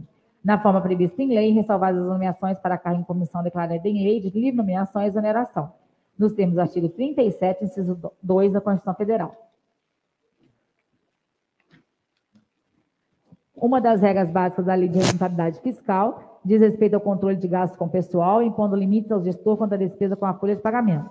Na quase totalidade dos estados e municípios do país, a proporção entre cargos comissionados e efetivos é praticamente o triplo, o qual, infelizmente, é popularmente conhecido como cabide de emprego. Desse modo, o Estado desenvolve suas atividades administrativas em benefício da coletividade, porém, mesmo quando haja em vista de algum interesse estatal imediato, o fim último de sua atuação deve ser voltado para o interesse público. Não se pode confundir interesse público ou interesse individual do Estado ou com interesse do agente público. Nesse sentido, a transparência e precisão das informações são os grandes aliados para esclarecer a situação. Sala das sessões, 11, 12 de agosto de 2021, vereador David Nogueira. Requerimento do vereador David está em discussão. Não havendo nenhum vereador querer discutir, passamos ao regime de votação. Os vereadores concordam, permaneçam como estão. Aprovado. Requerimento número 221. Excelentíssimo senhor presidente da Câmara Municipal de Valença, o vereador David Nogueira, na forma regimental, requer que da Secretaria Municipal de Saúde cópia integral dos processos de pagamentos liquidados em nome da Cruz Vermelha nos últimos três meses do ano vigente. Certo que seremos atendidos em mais este pleito e reiteramos nosso protesto de estima e levada consideração. Justificativa solicita a cópia integral dos processos de pagamento dos funcionários contratados pela Cruz Vermelha, a serviço da Prefeitura Municipal de Valença, a fim de apuração de controle externo, pelo período de três meses do ano vigente. Desse modo, o Estado desenvolve suas atividades administrativas em benefício da coletividade, porém, mesmo quando haja em vista de algum interesse estatal imediato, o fim último de uma atuação deve ser voltado para o interesse público, não se pode confundir interesse público com interesse individual do Estado ou com o interesse do agente público. Nesse sentido, a transparência e precisão das informações são os grandes aliados para o fortalecimento do controle externo e das atividades constitucionais deste vereador. Sala das Sessões, 12 de agosto de 2021, vereador David Nogueira. Requerimento do vereador David solicitando da secretária de Saúde a relação do, do pagamento liquidado em nome da Cruz Vermelha. Está em discussão. Não havendo quem queira discutir, passa ao regime de votação. Os vereadores concordam, permaneçam como estão. Aprovado. Requerimento número 222. Excelentíssimo senhor presidente da Câmara Municipal, vereador José Reinaldo Alves Bass. O vereador Eduardo Rang, que essa subscreve, no uso atribuições legais na forma regimental, requer encaminhamento deste requerimento ao chefe do Poder Executivo Municipal, para que o mesmo viabilize junto à secretaria responsável as seguintes informações detalhadas. Referente ao endereço Estrada Valença Rio das Flores, número 2122, Casa 1 e próximos e próximas, bairro Biquinha. É sabido que na localidade passa um córrego com grande extensão, e este causa mau cheiro, doenças, animais peçonhentos e demais transtornos aos moradores. Dessa forma, requer seja esclarecida pela secretaria competente se há viabilidade de realizar procedimento para minimizar tal situação. Número 2. Qual procedimento pode ser feito e em quanto tempo? Se negativo, informar detalhadamente o motivo da impossibilidade. Justificativa. O saneamento básico é direito fundamental do cidadão. Assim, o presente requerimento busca informações sobre possibilidade legal de realização de serviços nesse sentido para a população do bairro Biquinha. Sala das Sessões, 12 de agosto de 2021, vereador Eduardo Rank. Requerimento do vereador Eduardo Ranque está em discussão. Não havendo quem queira discutir, passa o regime de votação. Os vereadores concordam, permaneçam como estão. Aprovado. Requerimento número 223. Excelentíssimo senhor presidente da Câmara Municipal, vereador Zé Reinaldo. O vereador Eduardo Ranque, que assim subscreve nas atribuições legais na forma de mental, requer encaminhamento deste requerimento ao chefe do Poder Executivo Municipal, para que o mesmo viabilize junto à Secretaria responsável as seguintes informações detalhadas referentes aos semáforos. Número 1. Um, quantos semáforos existem e quantos estão em funcionamento na cidade? Número 2. Por qual motivo existe semáforo desligado? Número 3. É possível a religação ou a realocação dos semáforos desligados para locais necessários? Número 4. Hoje, quem administra os semáforos? A prefeitura ou a empresa privada? Número 5 favor fornecer demais esclarecimentos que a Secretaria entender cabíveis. Justificativa. É dever legal do vereador agir em fiscalização de todos os setores do município. Certo de que existe em Valença um trânsito em locais com alto fluxo de movimento, se mostra necessário tais esclarecimentos. Sala das Sessões, 12 de agosto de 2021, vereador Eduardo Rank. Requerimento do vereador Eduardo Rank está em discussão. Não havendo nenhum vereador que discutir, passa ao regime de votação. Os vereadores que concordam permaneçam como estão. Aprovado. Requerimento número 224. Excelentíssimo senhor presidente da Câmara Municipal, vereadores da Reinaldo. O vereador Eduardo Rank, que essa subscreve nas atribuições legais na forma de mental, requer o encaminhamento deste requerimento ao chefe do Poder Executivo Municipal, para que o mesmo viabilize junto à secretaria responsável as seguintes informações detalhadas referente às pessoas que fazem atividade física em programas do município. Número 1. Um, quantas pessoas fazem atividade física sob orientação do município, especialmente na sede da Secretaria de Esporte? Número 2. Qual o protocolo para o cidadão iniciar as atividades, exames, laudos, declaração médica de aptidão? Número 3. É pedido cópia dos exames atualizados? Se sim, favor enviar cópia dos exames de cada praticante de atividade. Número 4. O local onde é praticadas as atividades possui as licenças municipais e do Corpo de Bombeiros? Certificados de vistoria anual ou de registro, favor fornecer cópias. Número 5. Existe profissional de saúde, médico ou enfermeiro que acompanha as atividades para caso de emergência? Justificativa. A atividade física é essencial ao cidadão, todavia deve ser praticada com cautela e cuidados necessários. Dessa forma, esse vereador, no cumprimento de suas funções, vem fazer tais pedidos de esclarecimentos. Sala das Sessões, 12 de agosto de 2021, vereador Eduardo Ranque. Requerimento do vereador Eduardo Ranque, solicitando diversas informações ao Poder Executivo. Em discussão. Não havendo nenhum vereador queira discutir, passa o regime de votação. Os vereadores concordam, permaneçam como estão. Aprovado. Requerimento número 225, é excelentíssimo senhor presidente da Câmara Municipal, vereador Zé Reinaldo, a Câmara Municipal de Valença, por intermédio do vereador Bernardo Machado, no uso prerrogativas na forma regimental, ouvido do outro plenário dessa Casa Legislativa, manifesta a presente homenagem de moção de congratulação a ser encaminhada ao Colégio Estadual Coronel Benjamin Guimarães, em homenagem ao centenário de sua existência em nosso município. O Colégio Estadual Coronel Benjamin Guimarães, localizado no centro de Valença, Praça Padre Gomes Leal, este ano comemora seu centenário. O prédio, reconhecidamente como patrimônio histórico cultural, serviu quase que exclusivamente como instituição de ensino, construída em 1856. No ano de 1921, é reinaugurado, após uma lamentável incêndio em 1901, iniciando uma nova fase da instituição de ensino, recebendo o nome do Grupo Escolar Casimiro de Abreu em 1948, foi realizada uma grande cerimônia de mudança de nome, passando a chamar Grupo Escolar Coronel Benjamin Guimarães. Homenagem feita ao seu patrono e, finalmente, após passar por diversas transformações ao longo dos anos, no ano de 1976, por decreto recebeu a atual denominação, Colégio Estadual Coronel Benjamin Guimarães. Deste período até hoje, muitos diretores designados, mestres, substitutos e funcionários exerceram com dinamismo, amor e dedicação o divino compromisso com a educação. O colégio leva em sua história 100 anos de tradição, dedicação, responsabilidade com seus alunos e amor em, em toda a trajetória. Este digníssimo colégio, que é um tradicional estabelecimento de ensino, tem marcado de forma positiva e profunda as diferentes gerações que lá passaram, procuram transferir conhecimentos valiosos através de notáveis profissionais, ensinando com entusiasmo os valores construtores de um mundo mais solidário e, portanto, mais justo. O Colégio Estadual Coronel Benjamin Guimarães foi responsável pela formação escolar e moral de diversas gerações, fornecendo, além da instrução básica, subsídios para a construção de uma cidadania, uma cidadania democrática. Atualmente, o Colégio Estadual Coronel Benjamin Guimarães oferece uma excelente estrutura para o melhor aprendizado de seus alunos com conforto e desenvolvimento educacional, como internet banda larga, refeitório, biblioteca, quadra esportiva coberta, laboratórios de informática, auditório, pátio descoberto, sala do professor e alimentação. Constata-se, é uma instituição de ensino com um belo passado, atuante no presente e comprometida com a construção do futuro. A presente moção tem o objetivo de resgatar, preservar e divulgar a memória deste colégio, no ano de seu centenário e, por extensão, a história da própria educação em Valença.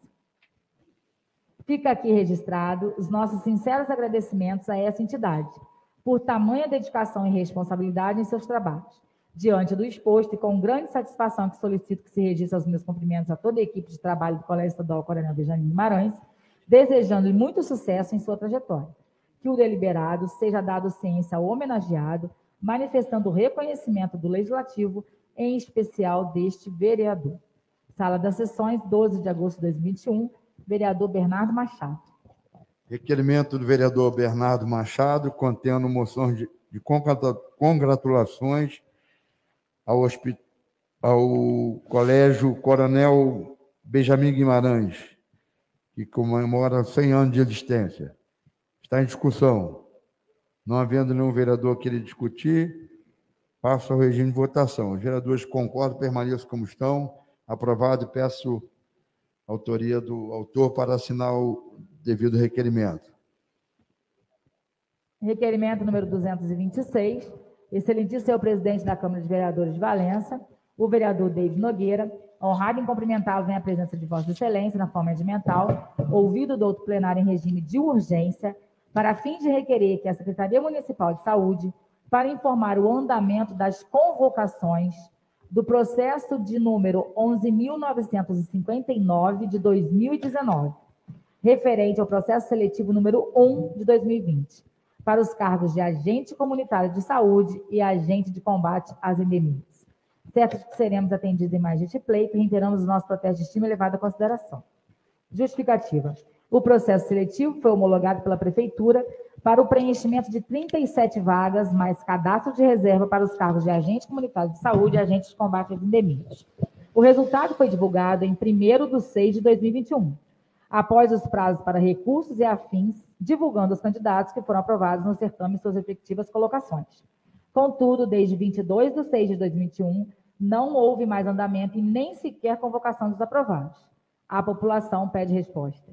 Segundo o STJ, o candidato aprovado em concurso público tem direito a ser nomeado e tomar posse do respectivo cargo público, sendo verdadeiramente um direito adquirido. Dessa forma, gostaria que a senhora secretária de Saúde informe qual a previsão para a convocação dos candidatos, visto que o processo seletivo se encontra paralisado por dois meses. Informe também quais são os critérios de convocação e suas respectivas ordens de relevâncias, para que assim possa ser informada a população a respeito das providências e medidas que serão tomadas. Desse modo, o Estado desenvolve suas atividades administrativas em benefício da coletividade, porém, mesmo quando haja em vista de algum interesse estatal imediato, o fim último de sua atuação deve ser voltado para o interesse público. Não se pode confundir interesse público com interesse individual. Nesse sentido, a transparência e precisão das informações são os grandes aliados para esclarecer a situação. Sala das Sessões, 12 de agosto de 2021, vereador David Nogueira. Presidente, presidente, antes de aprovar, eu queria pedir, o vereador David, eu queria ver se você deixar assinar também esse requerimento contigo, pelo seguinte, tem uma família aí que eu conheço, até do BNH João Bonito lá, o vereador, ela passou em primeiro lugar. Se ela, passou, se ela fez a inscrição, se ela pagou o valor que foi cobrado, se ela pagou porque tinha uma vaga lá, eu acho que essa pessoa tinha que ocupar essa vaga. Foi uma covardia, né? Passou em primeiro lugar, agora tem que aguardar quando surgir a vaga dela, aí está errado. Além do então, vereador isso, Celcim, outro vereador que quer queria, discutir? Por isso que eu queria assinar junto contigo, se você deixasse. Não havendo mais nenhum vereador que queira discutir, passa o regime de votação. Os vereadores concordam, permaneçam como estão. O vereador David assinou, autorizou que o vereador Celcinho assine. Está aqui, vereador.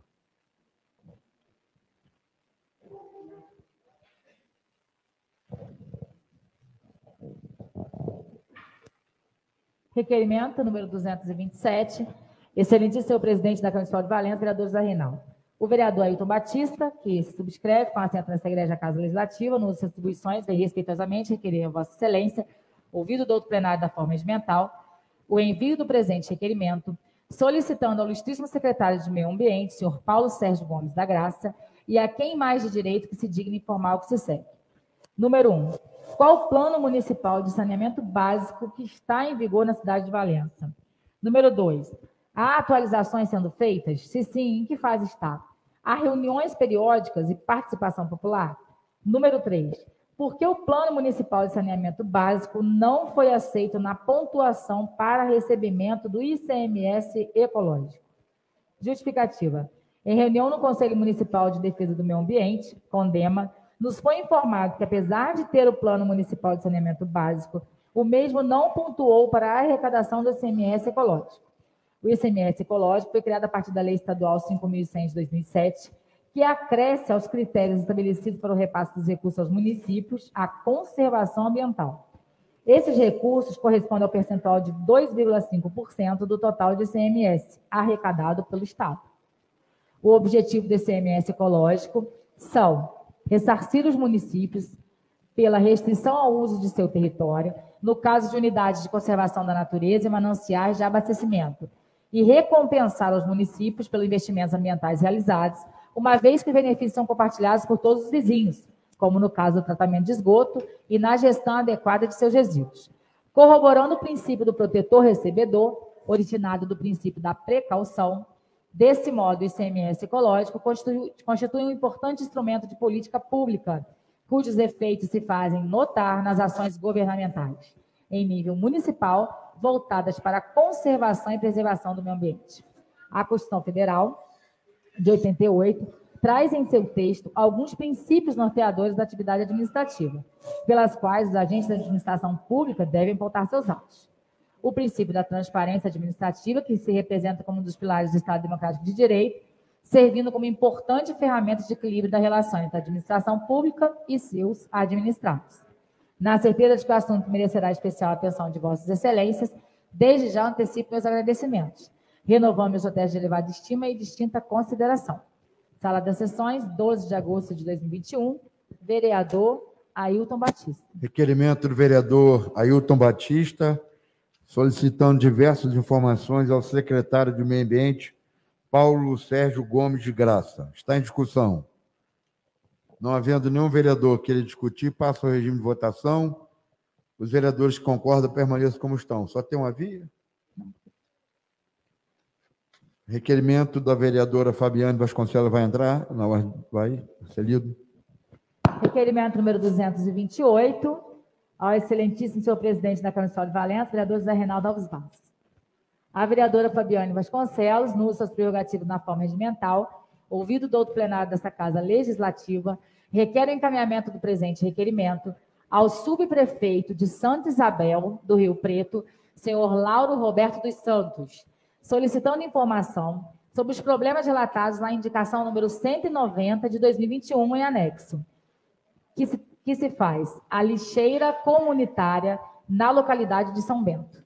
Justificativa. Atendendo à solicitação dos moradores da comunidade de São Bento, que aguardam por uma solução definitiva para o problema. Sala das Sessões, 12 de agosto de 2021, vereadora Fabiane Vasconcelos. Requerimento da vereadora Fabiane Vasconcelos, encaminhado, para ser encaminhado ao subprefeito Lauro Roberto, está em discussão. Nenhum vereador quer discutir, passa a de votação, os vereadores concordam, permaneçam como estão. Leitura das indicações, retirando as duas primeiras, o autor não está presente, começando pela indicação do vereador Ailton Batista.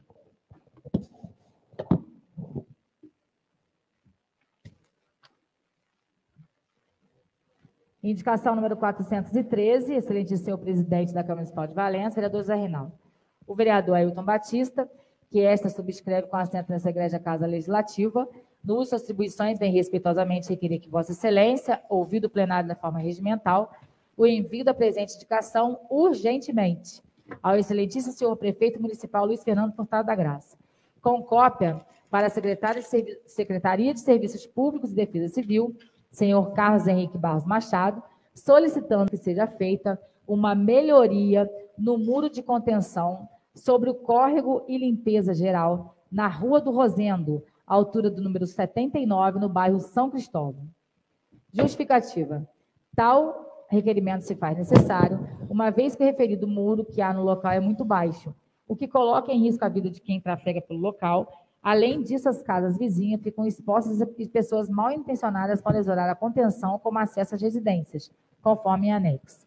É necessário que se faça a limpeza do córrego, roçagem e capina no referido trecho. Na certeza de que o assunto merecerá especial atenção de Vossa Excelência, renovo meus hotéis de estima e consideração. Sala das Sessões, 12 de agosto de 2021, vereador Ailton Batista. Indicação número 414 de 2021. Excelentíssimo presidente da Câmara Municipal de Valença, vereador José Reinaldo. O vereador Ailton Batista requer a Vossa Excelência, nos seus prerrogativos, ouvido do outro plenário da forma regimental, o envio da presente indicação, em caráter de urgência, ao ilustríssimo, ao ilustríssimo senhor Carlos Henrique Barros Machado, secretário municipal de Serviços Públicos e Defesa Civil, com cópia ao ilustríssimo senhor Lauro Roberto, subprefeito de Santa Isabel do Rio Preto, solicitando que sejam feitas as seguintes manutenções no distrito de Santa Isabel. Número 1. Um, reparos na rede de esgoto na travessa Ludovico Cosati, no bairro Leca. Número 2. Colocação de braços de iluminação pública nos dois postes que foram colocados no beco. Número 3 Melhorias na rede de drenagem na travessa Ludovico Cosati, altura do número 60, conforme fotos em anexo. Número 4. Reparo no Mata Burro, no bairro Leca, conforme foto em anexo. O mesmo foi construído em diagonal e tem e não tem eficiência para a coleta das águas pluviais. Justificativa. Conforme a observação em loco da situação naquela localidade, verificou-se a necessidade dos devidos reparos, não apenas pela comodidade da população, em especial por questão de saúde pública, acabando com esgoto de céu aberto e acabando com o mau cheiro exalado. Ressalta-se que investir em saneamento básico é investir em prevenção, melhorando as condições de vida dos munícipes. O esgoto coletado tem sido direcionado para o terreno de uma moradora e tem gerado enorme erosão em seu quintal. É incrível o mau cheiro e a quantidade dos mosquitos. As manilhas para terminar a obra já estão no local próximo. A obra tem que ser executada o quanto antes, pois o terreno da moradora está cedendo e o risco de doenças é alto. Sobre a rede de drenagem, as manilhas e as caixas coletoras são pequenas para o volume de água que passa pelo local. É necessário aumentar os vãos de um mataburro que tem ao final da rua, para que capte melhor a água. Os vãos são estreitos e, devido à velocidade da água, não faz a captação suficiente. Além disso, a caixa de captação é pequena, as manilhas também. A força e o volume de água são tão fortes que essa enorme tampa de concreto sai do lugar. Os moradores sofrem com a, com a água entrando em seus quintais e inundando suas casas. Como pode ser visto em algumas fotos em anexo, tem uma moradora que teve que inutilizar sua garagem para fazer uma contenção e tem seus muros em risco. Sobre a iluminação, os postes já foram colocados no local, a fim de receber iluminação pública. Estes lá apenas para esse fim. Falta apenas fazer a ligação da baixa tensão num trecho curto sobre o Mataburro, no bairro Leca, o mesmo foi construído em diagonal. Então, toda a água desce pelo canto da rua e não é captada, sendo então direcionado para a casa de uma moradora, causando inundações e inúmeros transtornos. Na certeza de que o assunto merecerá especial atenção de Vossa Excelência, desde já antecipo meus agradecimentos. Renovamos hotéis de estima e distinta consideração. Sala das Sessões, 12 de agosto de 2021, vereador Ailton Batista.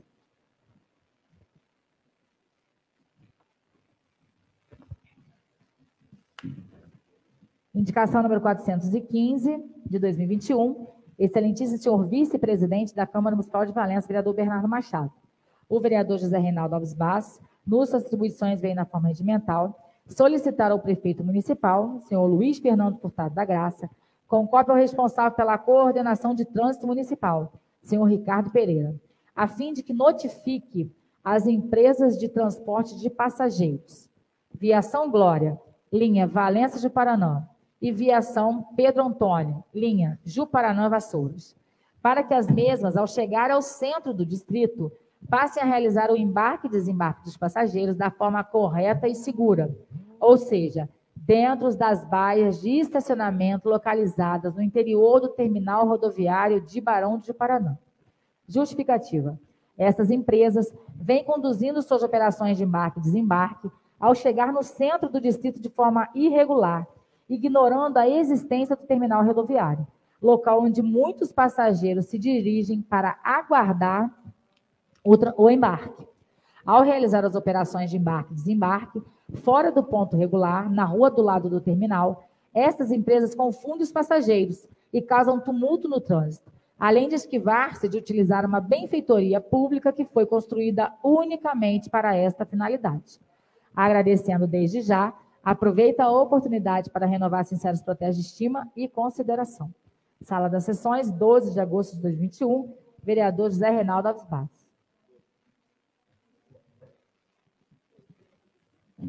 Indicação número 416, de 2021. Excelentíssimo vice-presidente da Câmara Municipal de Valença, vereador Bernardo Machado. O vereador José Reinaldo Alves Bastos, nas atribuições, vem na forma regimental.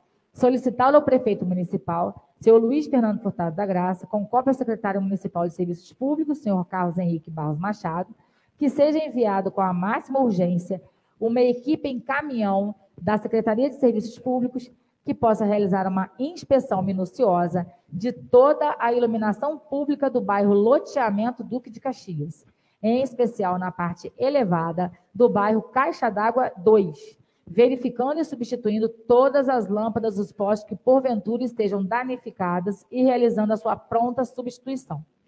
Diversos moradores destes bairros têm procurado decidir, queixando-se do estado precário da iluminação pública em suas ruas, com muitos postes permanecendo há muito tempo com as lâmpadas queimadas, o que causa grande sensação de insegurança e faz aumentar os riscos de acidentes.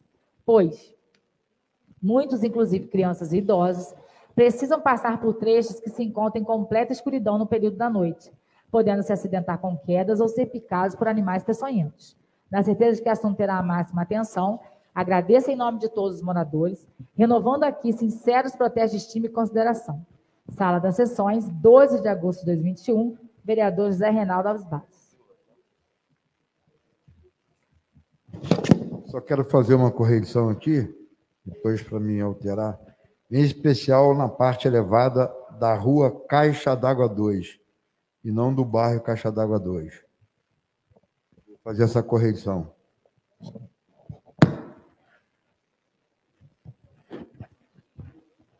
Indicação número 418, ao excelentíssimo presidente da Câmara de de Valença, vereador Zé Reinaldo, o vereador Bernardo Machado, requer a Vossa Excelência, no uso de suas prerrogativas, ouvido do outro plenário da forma regimental, o envio da presente indicação ao excelentíssimo senhor prefeito municipal, Luiz Fernando Furtado da Graça, e a quem mais de direito de seu governo, solicitar que seja inserida aulas de atividades físicas para crianças e adolescentes portadores de deficiência física no espaço do Centro de Referência da Terceira Idade, sede da Secretaria de Esporte e Lazer, Praça Paulo de Frontin.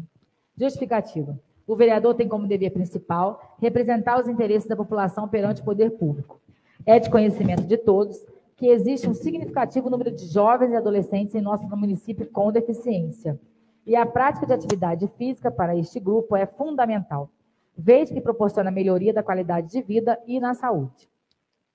Insta salientar, segundo a Organização Mundial da Saúde, a prática regular de exercício, cerca de 30 minutos, três ou quatro vezes por semana, contribui para a melhoria de qualidade de vida de qualquer pessoa. Aumenta a resistência, mantém o peso saudável e previne doenças.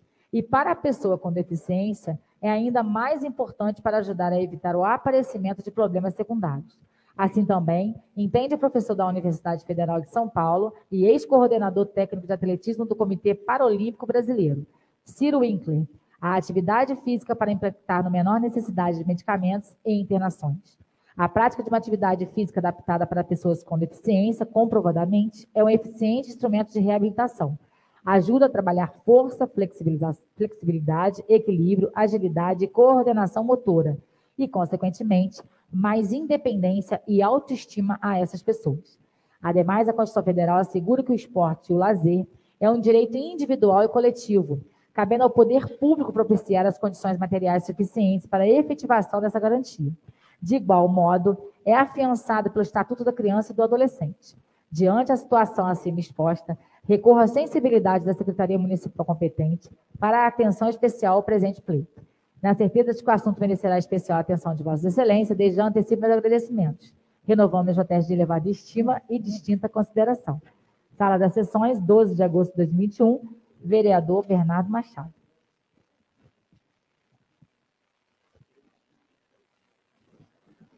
Indicação número 419, excelentíssimo senhor presidente da Câmara Municipal, vereador José Reinaldo Alves Bass, o vereador José Maurito Ferreira Lima, requer a Vossa Excelência, ouvido o plenário da forma regimental, o envio da presente indicação ao chefe do Poder Executivo Municipal, excelentíssimo senhor prefeito Luiz Fernando Furtado da Graça, solicitando-lhe a instalação de um parque infantil na Praça 15 de Novembro, Jardim de Baixo, assim como também instalação de academia ao ar livre.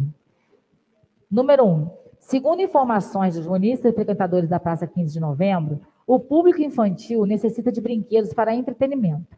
Desta forma, é necessária a instalação de um parque infantil, vista outrora já existiu parque na praça referenciada. Número 2.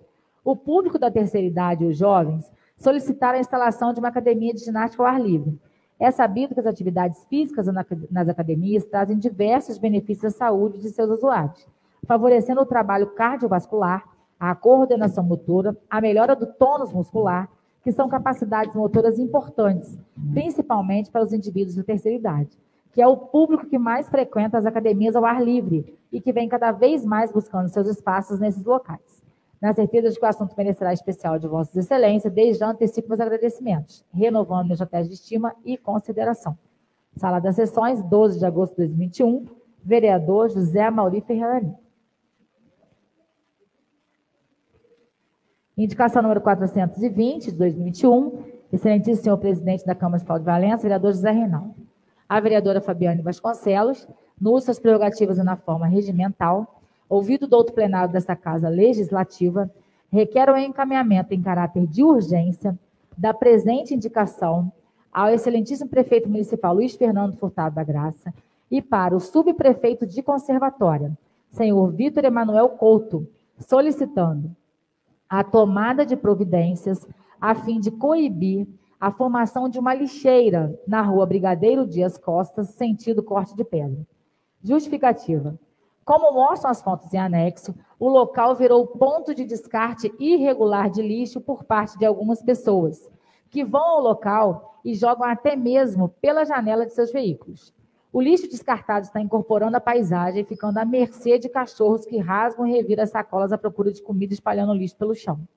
Ressalto que há também o desrespeito para com a moradora, que construiu um ponto para o correto armazenamento temporário de seu lixo à espera da coleta e agora vê a entrada de sua propriedade transformada em lixeira pública, com todo tipo de lixo espalhado, que além da sujeira, traz vetores como ratos, baratas e moscas, levando risco à saúde. Assim sendo, solicita a tomada de providências a fim de coibir a formação de uma lixeira pública na rua Brigadeiro Dias Costa, sentido Corte de Pedra. Sala das Sessões, 12 de agosto de 2021, vereadora Fabiane Vasconcelos ao excelente, indicação número 421, ao excelente senhor presidente da Câmara Municipal, vereador José Reinaldo, a vereadora Fabiane Vasconcelos, no uso das prerrogativas na forma regimental, ouvido do outro plenário desta Casa Legislativa, requer o encaminhamento da presente indicação ao excelentíssimo prefeito municipal Luiz Fernando Furtado da Graça. E para o secretário de Serviços Públicos e Defesa Civil, senhor Carlos Henrique Barros Machado, solicitando o retorno da equipe de iluminação pública ao Recanto das Águas, RB7, Valença, Santa Isabel do Rio Preto, para complemento da manutenção da iluminação pública com substituição de lâmpadas queimadas e implantação de braços de luz nos postes ao longo da subida. Justificativa. A equipe esteve no local, mas alguns postes ao longo da subida não possuem braço de luz. Outros estão com as lâmpadas queimadas. Essa situação tem deixado os moradores com medo e insegurança bem como as pessoas que trafegam pelo local. quando em deslocamento para suas residências. Além dos perigos de baixa visibilidade para motoristas e pedestres, os moradores enfrentam também o medo de assaltos, violência e também de ataque de animais. Assim sendo, solicito o retorno da equipe para complemento e finalização do serviço de manutenção da iluminação pública no Recanto das Águas, RB7, Valença Santa Isabel do Rio Preto, eliminando os pontos escuros e trazendo segurança aos moradores. Sala das Sessões, 12 de agosto de 2021, vereadora Fabiane Vasconcelos. Indicação número 422, de 2021, excelentíssimo senhor presidente da Câmara Municipal de Valença, vereador Bernardo Machado.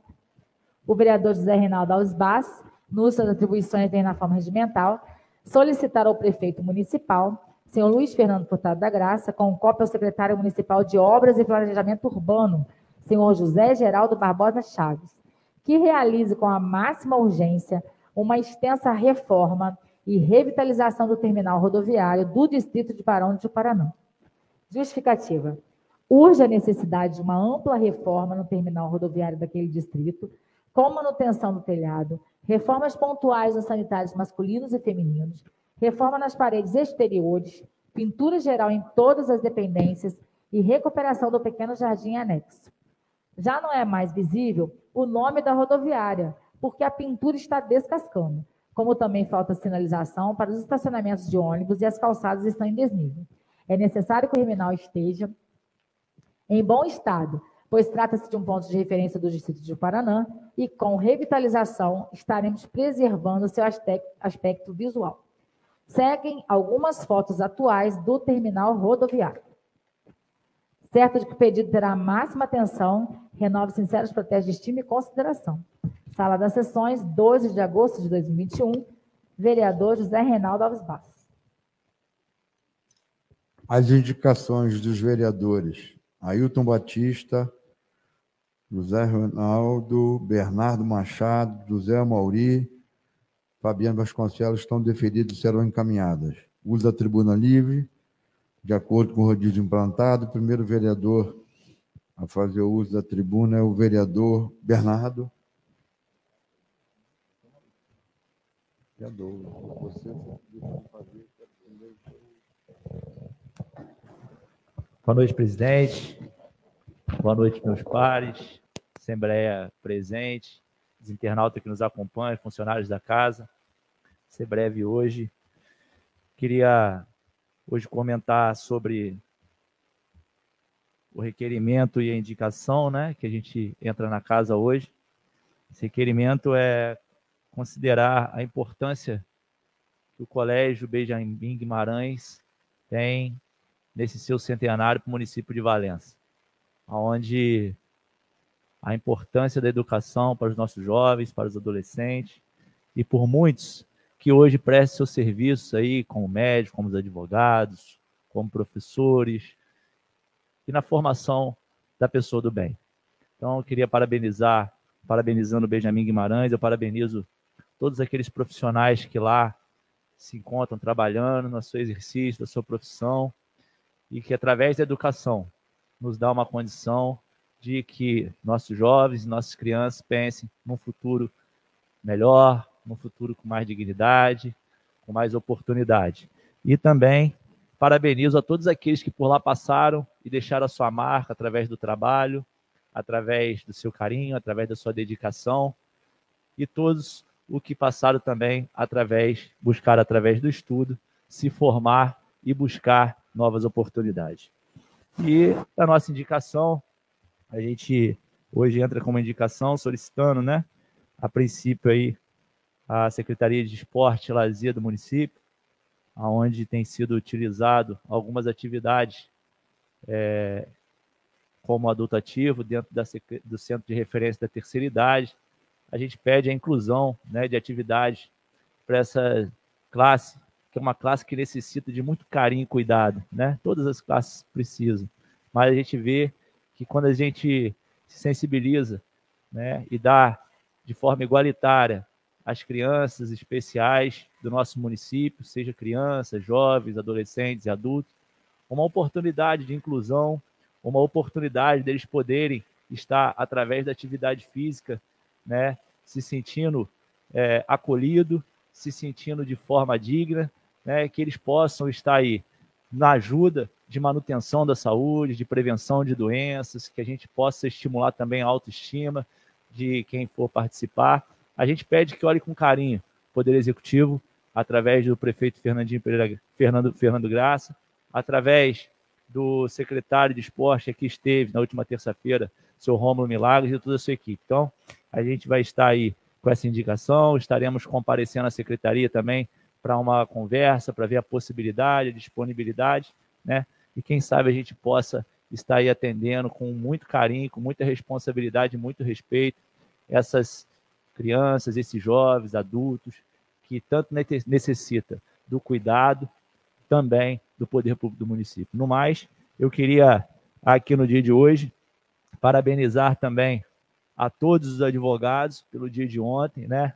E aí eu estendo aqui meus parabéns, principalmente à doutora Letícia, que nos acompanha no meu gabinete, ao vereador David, né?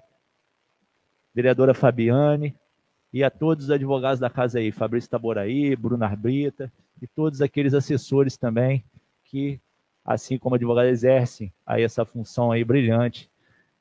Parabéns a todos vocês. Mas, muito obrigado, boa noite, bom final de semana a todos. Que Nossa Senhora da Glória possa estar nos abençoando, aí intercedendo por nós. Estamos aí na novena, domingo tem a missa, né? E que a gente possa aí seguir a nossa caminhada.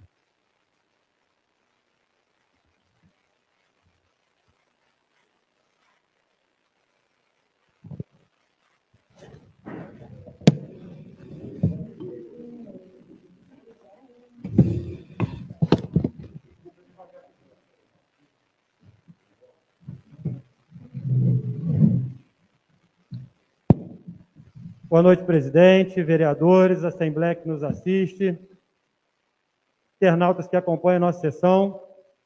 Hoje, a gente vai mudar um pouco aqui o, o, a nossa comunicação, estou falando e sendo transmitido ao vivo pelo meu Instagram. É uma forma da gente interagir e estar mais presente na vida das pessoas, então a gente vai experimentar para ver se realmente a gente consegue aí dar o nosso recado, ampliar ao máximo aí a possibilidade do nosso recado.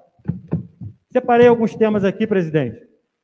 E antes de, temas selecionados, essa sessão de hoje me, me, ocorreu e me fez a lembrança de um amigo que, se, que ficou aqui comigo né, na, nos quatro anos anteriores, que é o Marcelo, vereador Marcelo do Didi, Marcelo de Santa Isabel, em momentos de discussão como essa, o Marcelo, na hora, assim, pulava na frente e tudo que ia para o Hospital Gustavo Monteiro, o Marcelo também pedia para o Hospital de Santa Isabel. Então, na próxima sessão já vou encaminhar a Vossa Excelência, vi que Vossa Excelência se comprometeu com o povo de conservatória, então aqui faço uma intervenção solicitando que já, desde já, também se comprometa com o povo de Santa Isabel do Rio Preto, que tem um hospital que também precisa da ajuda de, de, dessa casa, e tenho certeza que quando a gente divide o pouco que tem, mas divide com um tema tão nobre quanto esse, fica, ficamos todos satisfeitos. Então, presidente, que possa aí também o Hospital de Santa Isabel ser beneficiado com a, com a ajuda que essa casa aí vai Vereador. tentar fazer junto com o Hospital de Conservatória. Eu acho que a, a, a, o distrito também, o povo de conservatória, precisa ser olhado dessa forma aí, ok? Vereador David, se me Oi. permite uma parte. Claro. Então, o requerimento, é, eu, na última sessão, o requerimento que eu faço, inclusive reitero, é, eu não pôde estar presente na última sessão, eu reitero os dois requerimentos, são dois requerimentos iguais, eu também peço o mesmo repasse tanto para o Hospital de Conservatória, para o Hospital de Santa Isabel, que a gente sabe que na legislatura também, né, a gente estava aqui junto, houve esse repasse para as duas entidades. É porque né, a gente, quando falou a presença do, do, do senhor Magna aqui somente, né, e, a, e, o diretor do Hospital de Santa Isabel ainda não pediu a, a palavra, eu só passo essa informação para o senhor, que eu também Ótimo. Faço Beleza. o requerimento para as duas entidades. Tá? Beleza. Tá? Então, é, vereadora Fabiane, parabéns. Eu assino embaixo e sou também um entusiasta porque senão a gente que está aqui hoje fazendo voz com os moradores de Santa Isabel também, representando, a gente acha, eu me filio a, a esse pensamento e acho importantíssimo que nós também, é, que a Câmara possa ajudar Santa Isabel. Dito isso, presidente, é, vou falar de forma bem rápida de aqui do, do, dos, do, do, dos requerimentos que fiz e dando ênfase de forma muito clara ao, dos, ao concurso feito pela Secretaria Municipal de Saúde dos agentes de saúde, de, do, da, de agentes comunitários de saúde. Foram feitos, já era uma briga longa dessa casa aqui, cobranças de vereadores, minha, com bairros que estão hoje totalmente descobertos de serviço do agente comunitário de saúde, e a gente aí agora consegue conseguiu visualizar o concurso, várias e várias áreas descobertas, como o bairro do Canteiro, bairro do Paraíso, bairro da Biquinha, tia estava faltando agente de saúde, São José das Palmeiras, e agora veio o concurso, e a gente está aí aguardando a convocação, como o Celcim falou lá no, no BNH de, São, de João Bonito, a gente está aguardando a convocação por parte da secretaria desses agentes. A gente viu que os agentes de endemias já estão, inclusive, trabalhando, e a gente precisa avançar. Né, no momento desse de pandemia, no momento de tanta dificuldade na parte da saúde, a convocação desses agentes aí, ela é importantíssima para que a gente possa cobrir todo o mapa de Valença com os novos agentes de saúde aprovados no concurso promovido pela Secretaria de Saúde. Então, você, meu amigo, minha amiga, que tem procurado meu gabinete para saber sobre as convocações do concurso de agente comunitário de saúde. Hoje foi enviado um requerimento solicitando os esclarecimentos, a perspectiva de chamamento, porque se passou dentro do número de vagas, vira direito líquido e certo para que eles possam ser chamados. A gente vai acompanhar isso para que não ocorra aí a prescrição do concurso e não seja chamada as pessoas, as pessoas ficam ali esperando, esperando, esperando, e a secretaria não toma a atitude que deve. Então, Vou acompanhar de perto o chamamento dos agentes de saúde aprovado para que possa aí é, aumentar a oferta de serviço de saúde no município de Valença. Com relação à Cruz Vermelha, pedi cópia integral do pagamento feito à Cruz Vermelha nos últimos três meses, porque já fiz indicação, já vim para essa tribuna falar e acho uma vergonha um bairro como o bairro da Biquinha, que atende, onde tem uma estratégia de saúde da família que atende Biquinha e Vadim Fonseca, está há mais de três meses sem um atendente, sem um, um técnico de enfermagem. E vi também, por outra discussão de outros colegas, que existe aí um déficit de pessoas a serem preenchido nas vagas dos postos de saúde dos bairros. Então, é importantíssimo que a gente entenda o valor desse contrato, a contratação e como isso tem se dado na prefeitura, na Secretaria de Saúde, porque o que não pode é pagar valores milionários à Cruz Vermelha e lá na Biquinha não ter o serviço 100% adequado. Então, a gente está aqui para cobrar para que seja de forma mais rápida possível ser retornado lá o técnico de enfermagem e a recepcionista no posto de saúde da Biquinha.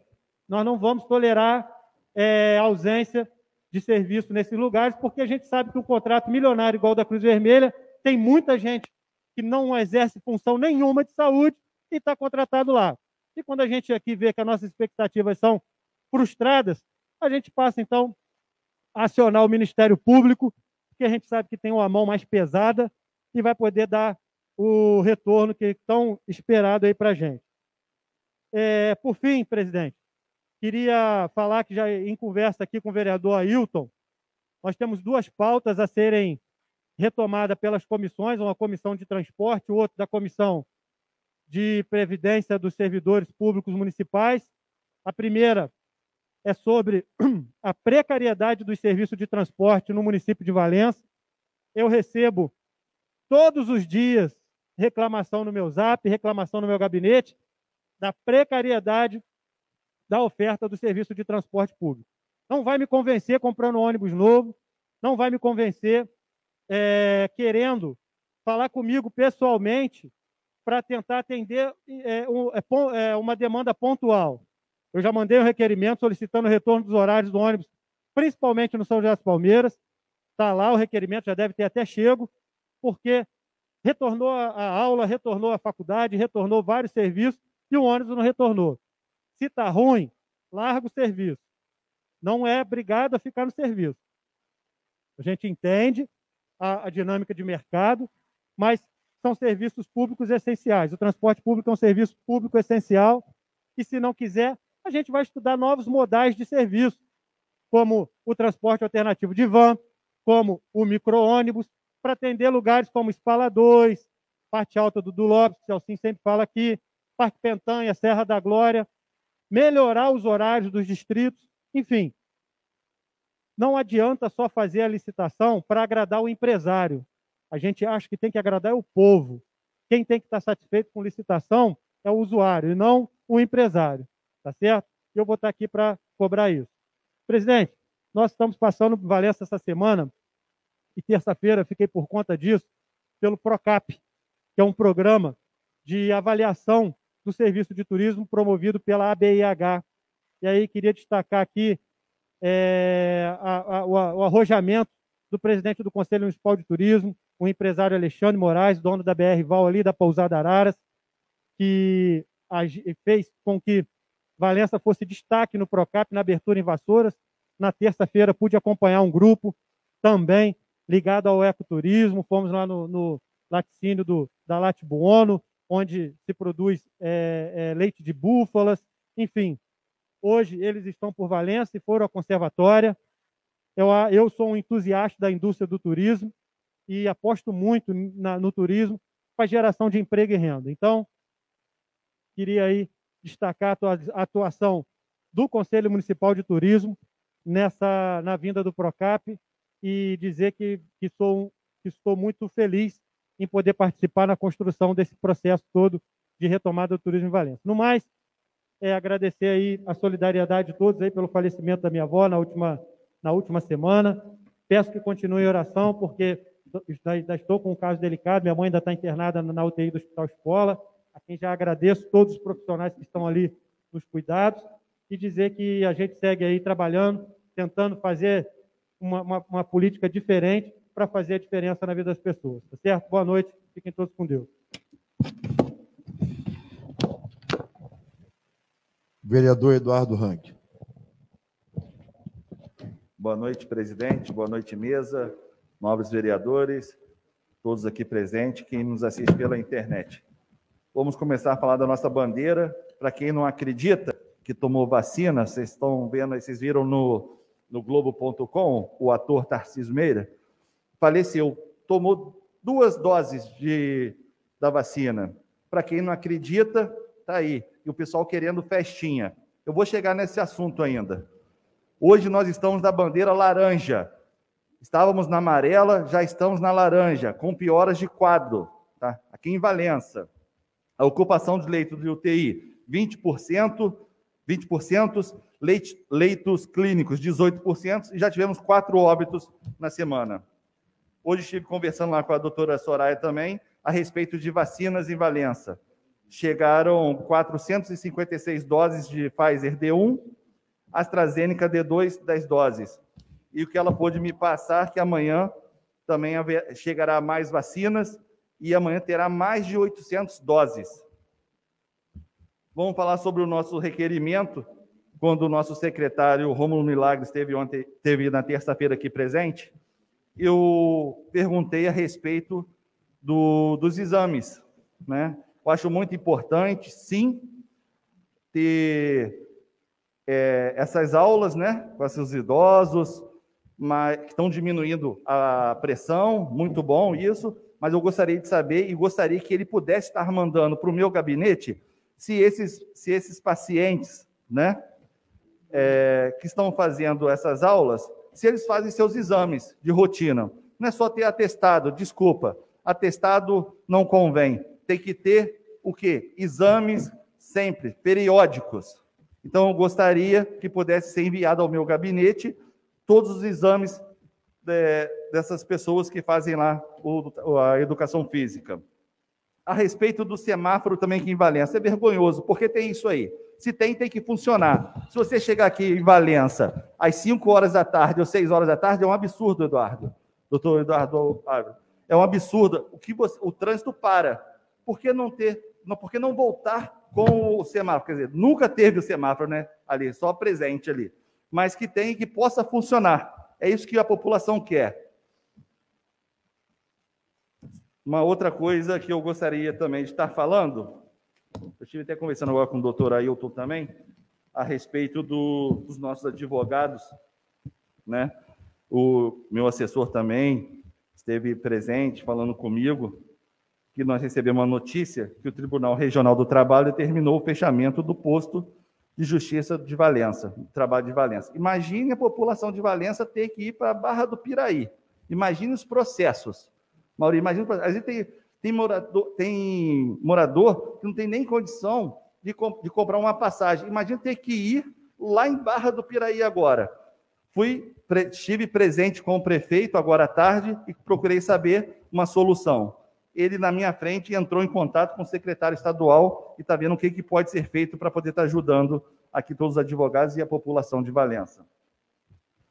Uma outra coisa que eu tenho visto também, acredito que vocês, vereadores, têm, têm visto também no, na, em redes sociais, WhatsApp, foi sobre o postinho de saúde. Mais uma reclamação. Entrei em contato com a secretária de saúde também. Não é só atendimento médico, não. Às vezes é como a recepção é feita com o paciente. Teve uma reclamação no bairro João Bonito, João Dias, perdão, e lá na Varginha. Então, a secretária já falou para mim que vai entrar em contato para saber o que, que está acontecendo. Eu quero que seja feito um tratamento com dignidade para a nossa população e que seja também o paciente chegou no seu postinho de saúde, seja atendido com carinho e educação sempre. Uma outra situação que eu tenho visto, falaram comigo, mas esteve presente no meu consultório, é a respeito do pronto-socorro de Valença. O que, que tem acontecido? Eu sei que nós temos ortopedista, sou ortopedista, e tem o ortopedista que fica de sobreaviso. Eu gostaria de pedir, o vereador David não se encontra, é, lá do Hospital Escola, que tenha o médico ou até mesmo o residente, é apenas um, uma ideia, é, está também apresentando para eles o seguinte, que depois não venham receber processo. O que, que eu estou dizendo isso? ela, a, a médica lá, ou o médico, quando faz o atendimento, o paciente teve algum trauma, pelo amor de Deus, peça um raio-x, por mais que você não saiba, pelo menos o ortopedista, depois que está de sobreaviso, que você irá encaminhar ao ortopedista, ele possa estar vendo esse raio-x. Desculpa, o paciente chega lá, isso chegou no meu consultório, tá, gente? Chegou no meu consultório. O paciente chega lá no hospital, ah, eu caí. Beleza, desculpa, eu não tenho é, olho de raio-x, eu não tenho olho biônico. Como é que eu vou saber se teve fratura ou não? Tem que fazer um exame de imagem. Isso é bom até para você, médico, médica, residente no hospital, que faça pelo menos esse exame, porque senão você depois tem uma fratura e acaba recebendo um processo. Então, teve trauma, pelo amor de Deus, peça um raio-x, não vem falar para mim que não tem fratura. Depois chega lá no meu consultório, fiz lá fratura. Então, eu já peço que as autoridades lá do Hospital Escola possam estar conversando com o médico plantonista, posso estar passando para seus residentes também. É, uma outra coisa também, eu gostaria até de fazer a convocação aqui do, do diretor Tiago José, entrei em contato com ele hoje, a respeito dessa marcação de consulta via WhatsApp. Eu não minto aqui, não tem por que mentir, é um dos projetos nossos de campanha, não corro de ninguém, e eu não está dando certo, não tem problema nenhum, não vou estar correndo. Estarei pedindo a ele aqui, solicitei que ele possa estar aqui presente na Câmara, dando uma satisfação para a nossa população. E se ele quiser também, até peço, Tiago, você possa estar passando para a nossa, a nossa população como é que está a situação geral do nosso Covid. Acho que será muito bom também. Então, já peço essa, já peço a convocação do diretor Tiago José aqui na, na, na Câmara. Agora, uma coisa, como eu falei logo no nosso início, a respeito da nossa bandeira laranja. Eu recebo, desculpa, gente, eu não queria falar isso, mas tem hora que não, não dá, cara, chega um limite aqui. Teremos uma festa sexta-feira 13, não poderia ser melhor. Vocês estão de brincadeira comigo. Só pode. Pô, está aumentando os casos de valência de Covid, vocês querem fazer festinha. Sexta-feira, 13, não poderia ser melhor. Pô, gente, sabe o que eu gostaria de fazer? Sem brincadeira, o doutor Eduardo Ávila. O que eu gostaria de fazer, você que é na festinha, assina, assina aqui para mim um termo aqui de responsabilidade, que depois você não vai lá no hospital, ter que ter atendimento e ficar lá, é, ficar internado. Porque tem muitos idosos aqui também que estão em casa, que querem sair, não podem, e lá os bonitões, desculpa o palavreado, vão levar para casa. E vai acontecer isso aí, vai ter o quê? Morte.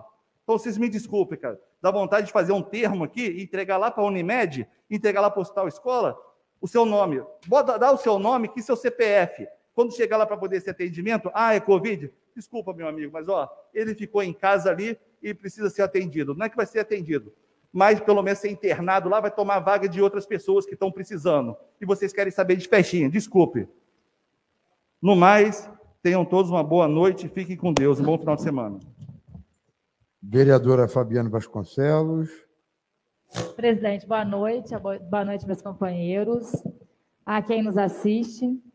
O que eu tenho para trazer nessa noite de hoje já foram as nossas indicações, requerimentos que foram lidos aqui, e a gente só traz agora essa, essa, esse reafirmamento nesse pedido, esse requerimento que eu faço junto é, ao prefeito, ao nosso querido lá também, que é um gigante, o senhor Lauro Roberto dos Santos, nosso companheiro aí de caminhada, caminhou junto comigo, foi candidato aí junto comigo no nosso partido.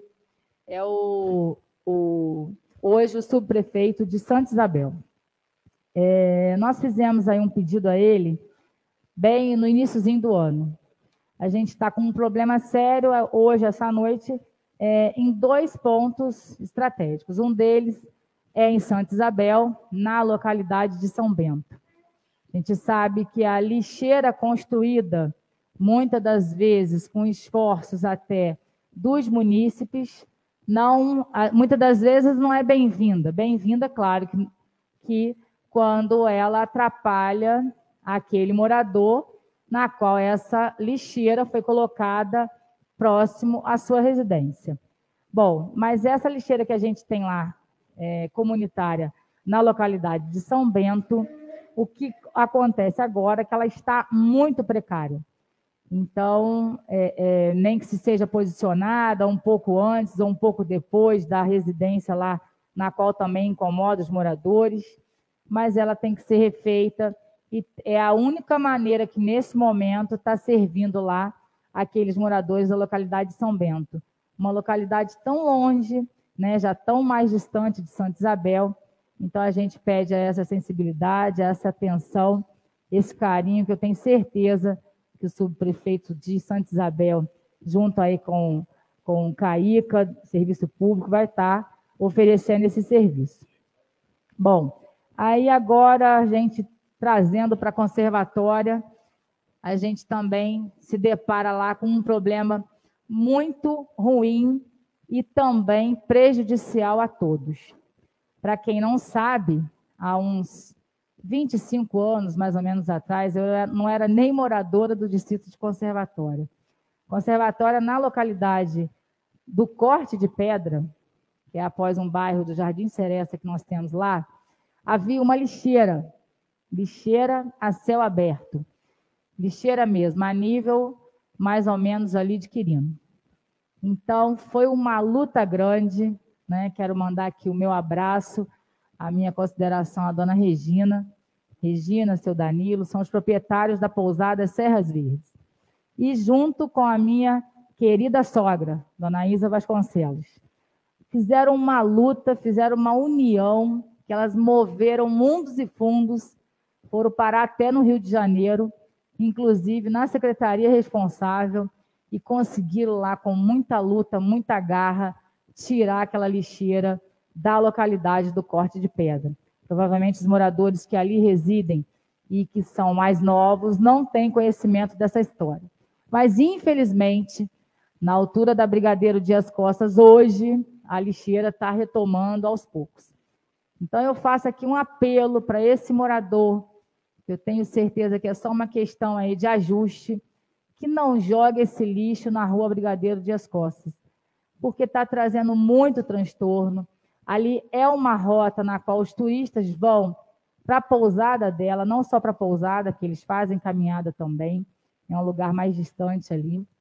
E, além disso, está atrapalhando a dona Nádia, que fez lá, coitada, a coleta de lixo, a lixeira dela para o lado de fora, para ela colocar o seu lixo próprio. Então, as pessoas, moradoras do distrito de conservatória, até porque o turista não faria isso, porque realmente é mais afastado. Então, são os moradores de conservatório que estão voltando aos pouquinhos com essa lixeira que lá atrás não faz parte nem da minha história. Estão retomando aí com aquela lixeira que não era bem-vinda, era trazia muita doença, ratos lá, baratas e doença para aquelas pessoas que ali moram perto do corte de pedra. A outra indicação que eu trouxe hoje seria para a continuidade da iluminação do Recanto das Águas, RB7 da Estrada Valença Santa Isabel. Quero mandar aqui meu grande abraço também para a equipe de iluminação. Toda vez que a gente solicita lá para o Distrito de Conservatório, eles estão aí sempre presentes, claro que fazendo a medida do possível, e a gente aí pede essa retomada dessa iluminação dos postes que estão lá sem os braços. Então, eles já começaram a fazer. A gente pede aí Quero que você leve, Pedro, aí essa, essa reivindicação. É um bairro que está crescendo muito, a vista lá de cima é magnífica.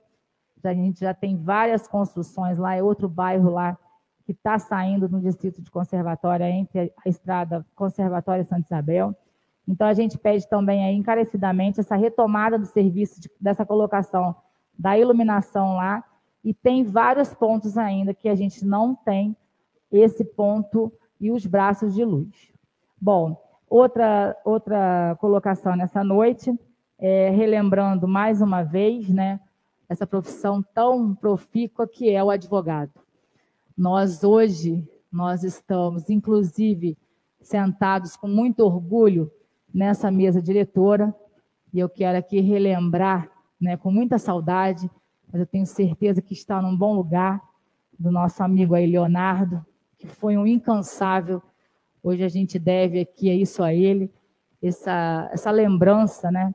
Ele que foi aí todas as vezes bem tranquilo, aquela voz mansa, trouxe aí para a gente essa vitória. E hoje nós estamos aqui à frente da Câmara Municipal de Valença, sentados aqui nessa mesa, tentando trazer o melhor para a população, tentando mostrar o nosso trabalho. Então a gente relembra aí o nosso amigo Leonardo Pascoal, que Deus tenha um bom lugar tenho certeza. E os nossos aqui, né, os nossos incansáveis também da casa, é, advogado David Nogueira, eu sou bacharel em Direito, formado na, na, na me formei exatamente no ano de 2000, mas nunca exerci minha profissão, mas escolhi também essa profissão na minha vida.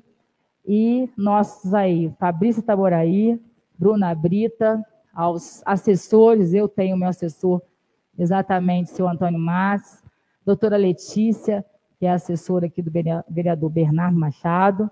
Eu tenho também, quero mandar meu grande abraço meu assessor, doutora é, Antônio Matos, pela profissão deles, essa escolha tão linda que é trazer a justiça aí para a gente. Assessor do ranking também, advogado, quero deixar aqui meu abraço. Bom, e outra felicidade que nós teremos aí no domingo, o dia da nossa padroeira da nossa cidade.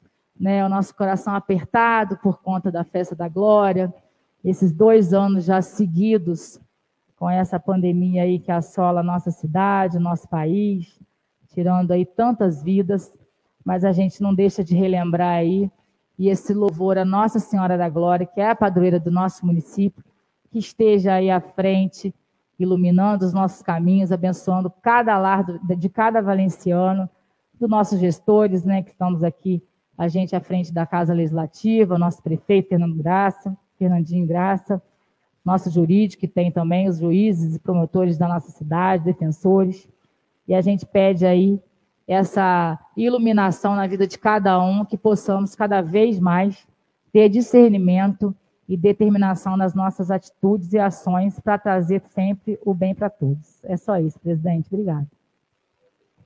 Vereador José Mauri. Vereador Celcinho. Boa noite, presidente, mesa, vereadores, assistentes, internauta. Bom, eu só queria dizer o seguinte, eu pedi o vereador David para assinar esse requerimento que ele fez sobre os agentes de saúde, pelo seguinte, Acho que muita gente aqui em Valença não fez esse concurso, esse seletivo, porque não tinha, às vezes não tinha nem o dinheiro para pagar. Agora, já pensou? Todo mundo sabe que o agente de saúde foi feito para o bairro, vaga na passagem, vaga no bate-pátio. Então, foram feitos para ocupar as vagas que tinha nos bairros. E é o, é o caso do problema do lá do BNH João Bonito, vereador Ailton. E a pessoa, a pessoa ficar em primeiro lugar e ter que aguardar, será que será que ela fez essa, esse, essa prova para ficar aguardando vaga? Acho que isso aí não existe. Eu acho que a pessoa passou em primeiro lugar, já era para estar tá ocupando o serviço. Eu acho que se essa pessoa colocar até na justiça, ela vai ter que receber até esses tempos que estão que já foram contratados essa turma de agente de saúde, os de edemia, porque ela não fez o seletivo, o concurso, o que seja, para ficar aguardando vaga. Ela foi o primeiro lugar, ela fez para ocupar a vaga que tinha naquele, naquele bairro lá. Então, eu acho que é uma sacanagem, é uma covardia. Porque muitas pessoas aí não fizeram porque não teve nem dinheiro. Eu mesmo, nesse seletivo aí, paguei para umas quatro pessoas. Graças a Deus, um ainda passou e está trabalhando. Então, já pensou? Você paga com a dificuldade doida, você fica em primeiro lugar e não ocupa a vaga? Eu acho que é uma covardia. Eu também não sei se algum vereador, às vezes o Pedro tem, algum vereador tem o telefone do Chico da Serra, porque dois anos atrás aí ficou de sair cinco academias livres na nossa cidade. Até hoje nada. Eu escolhi, por exemplo, uma academia, ele é do meu partido, lá para colocar em cinco academias que ia ser feita nos, nas praças. Eu escolhi lá na, no Bar de Fátima, ele colocou uma lá e até agora, até agora nada.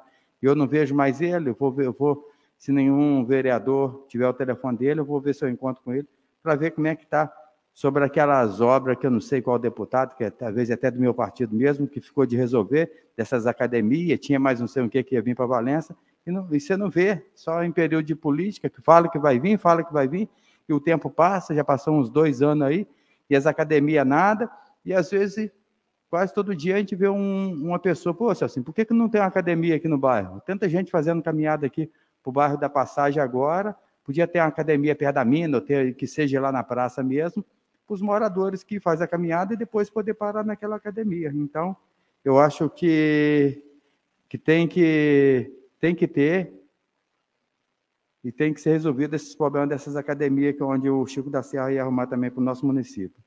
Lâmpadas e rede de esgoto, mais uma vez eu vou falar. Eu acho que a nossa cidade vai começar a melhorar quando qualquer morador da cidade poder ligar para a garagem, para a garagem, o setor 0800, Chegar lá, você liga um 0800, é lâmpada, dá o endereço dentro da cidade, 24 horas, afastado, 48 horas, e rede de esgoto, mais rápido possível, porque é uma vergonha, cara. Se a pessoa você morar e aquela rede de esgoto está lá estourada lá um dia, dois dias, três dias, quatro dias, cinco dias, aí fica difícil, né? Obrigado, uma boa noite a todos. Vereador Pedro Graça. Senhor presidente, demais da mesa, colegas, senhores assistências, nossos internautas.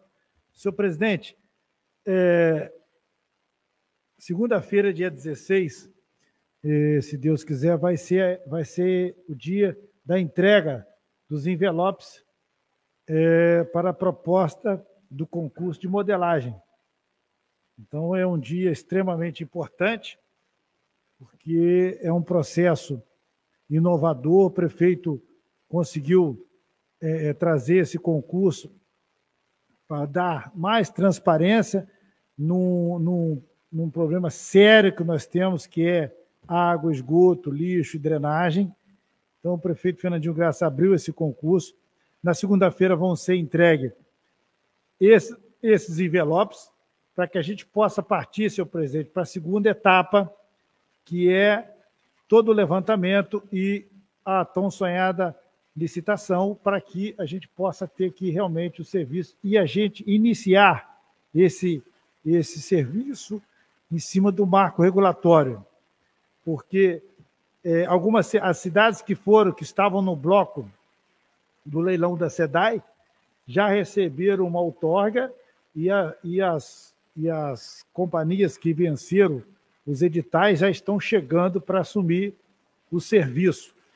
Então a gente torce para que seja que esteja uma taxa boa, mas que eles possam realmente executar o serviço que essas cidades necessitam, como a nossa necessita. Como nós não estamos, não entramos nesse leilão, nós estamos no nosso próprio caminho e um desses caminhos é segunda-feira já é uma etapa a ser vencida dessa entrega, onde nós podemos aqui, senhor presidente, depois temos algumas, é, é, vamos dizer, no, na modelagem de, do, do, da escolha, nós podemos ter uma administração direta, nós podemos ter uma administração indireta, nós podemos ter uma concessão, uma permissão e uma PPP, uma parceria público-privada. Então, são várias situações que pode acontecer em Valença, mas essas, essas, essa escolha ela precisa estar muito ligada à nova lei do marco regulatório, porque Valença sofre quase que 100% de ineficiência de esgoto, precisa melhorar a distribuição da água, precisa melhorar a qualidade da água, então as nossas necessidades são grandes. Nossa cidade é uma cidade de poder aquisitivo não tão grande, não podemos ter tarifas altas, tem que ser uma coisa adequada. Então, presidente, é um grande desafio fazer essa equação toda funcionar. Mas tenho certeza que o prefeito Fernandinho, junto com essa casa, vão ter sabedoria e Deus vai abençoar a gente para que a gente possa continuar nesse caminho. Existe uma empresa hoje prestando serviço, que é a SEDAI, tem toda uma jurisdição em cima dela de situações de, de justiça, só que o município de Valença não pode esperar mais para que as coisas aconteçam. Precisamos de decisões, precisamos avançar, Dudu, porque hoje mesmo fiz um, um vídeo lá no BNH do João Bonito, onde um esgoto, Naldo, daquele bem azul, mas bem azul mesmo, passa na porta da casa de um morador. E ele vive com aquilo ali, ó. E ele falou: Eu já estou até desanimado com isso. Então, precisamos realmente de um, de um projeto novo, de uma união dos políticos, para que a gente possa avançar. E a gente precisa de projeto, não de ações pontuais. Nós precisamos de um projeto onde uma empresa, alguém ou a própria prefeitura assuma um serviço de começo, meio e fim. E nós estamos falando aqui de serviço para três, quatro ou cinco é, legislaturas porque isso aqui não vai ser sanado da noite para o dia. Então, é um grande projeto, um grande desafio. Se nós errarmos aqui, nós vamos dar peso para os próximos prefeitos, que, se Deus permitir, pode ser qualquer um, até um de nós aqui nessa casa. Então, nós temos que estar muito atentos, porque a nossa população não pode mais esperar e nem pagar esse preço alto. Obrigado, senhor presidente, é o que eu, teria, que eu tenho para essa noite. Vereador Ailton Batista.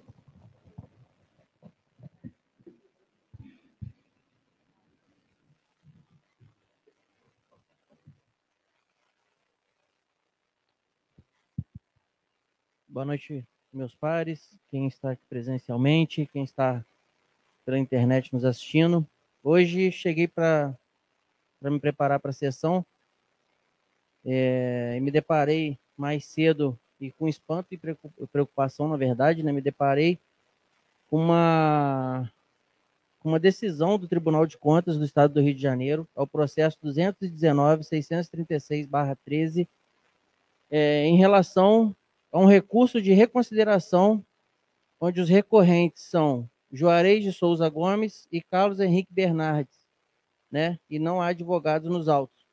E me deparei com esse processo, é uma resposta, já é uma, uma decisão final, onde a Previvalença, a Previvalença foi condenado pelo no julgamento das suas contas do ano de 2012. É, uma diferença, né, para, de acordo com a defesa aqui, quase que insignificativa, tentaram se defender dizendo que era uma diferença pequena de 735.371. Se a gente somar algumas desaposentadorias que estão sendo colocadas agora em xeque, né, de servidores que foram aposentados agora estão sendo desaposentados, a gente vai chegar a um valor próximo a esse. Se a gente relembrar que eu, principalmente aqui, fui ameaçado por algumas pessoas ligadas, né, é, de forma indireta algum, a, a, atual gestão que se eu não votasse a favor da alíquota, eu poderia ter sanções no meu mandato e o CALC não sairia, a gente vai ver que não é só por isso. Porque hoje a gente tem o Previ, né? Sinceramente, é, com a minha humilde opinião, o seu diretor deveria ser afastado. Agora, então, que foi condenado suas contas, eu creio que ele não poderia continuar no cargo. Ele vai ter que se defender, de certa forma, e a gente vai ter que tentar achar uma maneira. Eu acho que reduz o desgaste da própria prefeitura. Então, é uma dica mesmo, tá, Pedro? Uma dica minha, se você puder repassar ao Fernandinho, nosso prefeito, que se afaste esse presidente nesse momento, até que realmente isso tudo seja averiguado. Ele foi multado em 3 mil UFIs, que dá equivalente, equivale a 11 mil reais hoje, tá? mais ou menos a 11 mil, 11 mil e pouquinho. Então, a gente está aqui, não estou, estou trazendo uma resposta final, pedi meus advogados que me auxiliem para que, que pudessem me dar esse parecer. Então, a gente tem aqui que as contas foram reprovadas em virtude das irregularidades e improbidades, quais sejam a ausência de, das conciliações dos saldos das contas bancárias no mês de dezembro de 2012, com divergência de R$ 735.371,08. Então, gente, esse saldo, esse saldo foi apresentado e na defesa foi colocado que foi um erro, um erro material.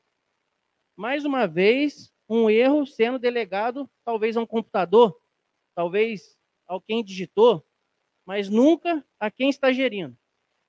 A gente está acostumado a ouvir isso aqui mais de uma vez. Nunca quem está gerindo erra. E quero aqui posicionar e parabenizar hoje que a secretária de Fazenda, Flávia, que na época indeferiu e foi contra a prestação de contas do Previ em 2012. Ela era, ela trabalhava né, no controle interno e ela reprovou, assim como o Conselho Municipal de Previdência.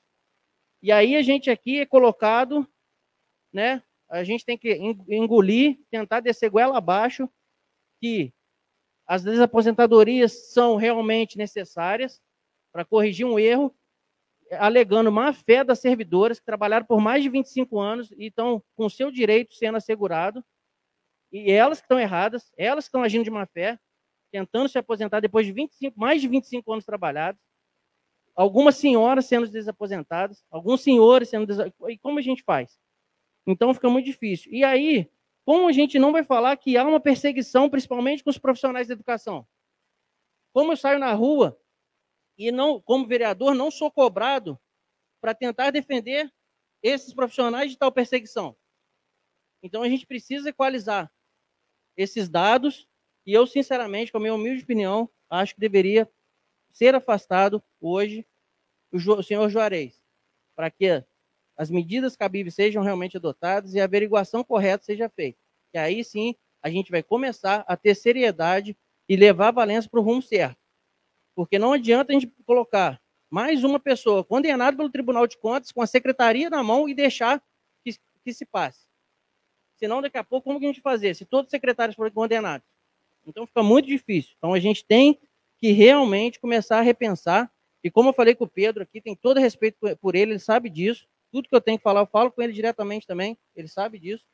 Né? Então, assim, a gente precisa hoje adequar, adequar as coisas para que aqui a gente é uma, aqui a gente está numa casa de leis, então a gente precisa que as leis sejam respeitadas. A gente precisa então começar a dar o exemplo. O exemplo tem que se começar de cima. Não adianta a gente cobrar do menorzinho lá da população. Então, hoje o Celcinho está cobrando aqui uma seriedade junto com o David num concurso público.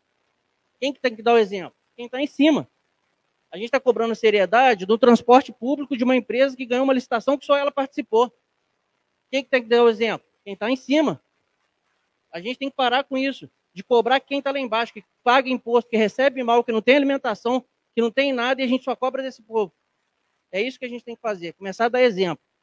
Né? Então, eu acho que é, a previdência ela não é só um direito do servidor, mas uma obrigação do executivo. É isso que o executivo tem que entender. Ele não está dando favor a ninguém. Ele está fazendo a sua obrigação e cumprindo a sua obrigação. Elas trabalham por mais, as pessoas trabalham por mais de 25 anos e precisam ter seu direito assegurado. Então, né, é, eu quero muito mesmo pedir para que se olhe de uma melhor forma possível e, sinceramente, peço mais uma vez o afastamento do senhor Juarez do cargo né, que ele ocupa hoje. Vou falar uma coisa aqui que o Celcinho também deve estar cansado de ouvir, Eu fui criado no bairro do Lopes, na parte alta, e fui criado tendo que buscar água na mina. Quase toda semana tinha que descer para a mina, ou a mina tinha ali embaixo, perto do campo, ou atravessar e ter que ir para passagem buscar na mina da, da, da ali do, do quartel. Né? A gente tinha que atravessar o córrego e pegar na mina do quartel, que era até um risco para a gente, mas moleque, a gente, não, a gente pulava as pedras lá e até se divertir. Né? A gente não sabia nem o risco que estava correndo. Mas há quanto tempo, né, Celcinha? Essa falta d'água é recorrente, recorrente, e mais uma vez agora, essa semana, na semana do Dia dos Pais, no Dia dos Pais, não tinha água no bairro, metade do bairro da parte alta do Lopes. Né? Aí corrigiram o problema da, da bomba, mas eu fui lá, vi a bomba, a bomba realmente eu acho que deveria ou ser trocada, ou de certa forma encanamento, deve ter algum entupimento, alguma coisa, porque é muito tempo. Eu tenho 33 anos de idade, há 33 anos falta água, então 33 anos para resolver um problema. Concordo que não é um problema só da atual gestão, mas a atual gestão vai para cinco anos de governo. Então, em cinco anos dá para sanar alguns problemas, né? Senão, como o Celcinho também sempre fala, é só problema. Ele já está aqui há vários anos, é só problema, só problema. Por que, que você está vendo tanto problema? Porque o problema só se acumula. O problema não é resolvido. E aí, daqui a pouco, você vai estar com 10 mandatos e só problema, e só problema, e só problema. Porque nada está sendo resolvido. Então, é a hora das coisas começarem a ser resolvidas. Como você falou, por que, que não cria um 0800, uma, uma ouvidoria, para escutar os moradores em alguns pequenos problemas, para que as coisas sejam resolvidas mais rápido? Então, acho que tem que ser dessa forma. Fiz um relatório aqui na última sessão, né, a, a sessão já estava muito extensa, preferi não falar. Fiz uma indicação também das escolas, né, da, a gente visitou até agora 10 escolas, sendo uma creche, na verdade. Então, três escolas estão em excelente estado, é a escola da Aparecida, a escola da Ponte Funda e a escola da Varginha, estão em excelente estado, e três estão em estado, sim, extremamente crítico, principalmente o CIEP São José das Palmeiras. Precisa de uma reforma urgente. A creche São José, onde recebe crianças pequenas, com telhado, parte do telhado cedendo, caixa d'água vazando água para tudo que é lado, também tem que ser feita caixa d'água de amianto, que eu sempre peço aqui para que sejam trocadas, e a escola de Pentanha, que está passando por diversos problemas no telhado, um banheiro pequeno, problemas sendo acumulados, né, como a gente já disse. Então, gente, a gente tem que entender que a educação ela é a base de uma sociedade. Se a gente não está ligando para a educação, a gente está deixando uma sociedade crescer né, ainda mais agora com a pandemia, né, sem coordenação, sem bons frutos. O que será da nossa sociedade daqui a um tempo? Só Deus sabe. Daqui a pouco ninguém vai respeitar mais ninguém. Daqui a pouco a gente vai ter que sair daqui ou de carro blindado ou de segurança. Porque a falta de educação vai trazer a gente ser agredido aqui. Então é isso que a gente tem que pensar. A gente tem que educar para que a gente seja respeitado e que respeite os outros. Então a, a, as, as escolas têm que ser vistas de uma forma imparcial e resolvido rápido. A escola da Aparecida está reformada desde a, desde a gestão da antiga secretária de Educação. As caixas d'água estão lá desde o ano passado, três caixas d'água, e até agora não foi instalada, e a, e a reforma está linda, a reforma foi bem feita, e a diretora precisa que instale as caixas d'água para começar a aula segunda-feira, se for, que agora o, o Ministério Público está apertando que volte às aulas, e tem três caixas d'água lá, não é falta da caixa d'água, está lá, só falta instalar. Né? Meu tempo acabou, agradeço a todos. Né? E vamos, vamos sinceramente, o, o Pedro Graça, tentar resolver essa, essa situação do Previ Valença para não deixar estender mais.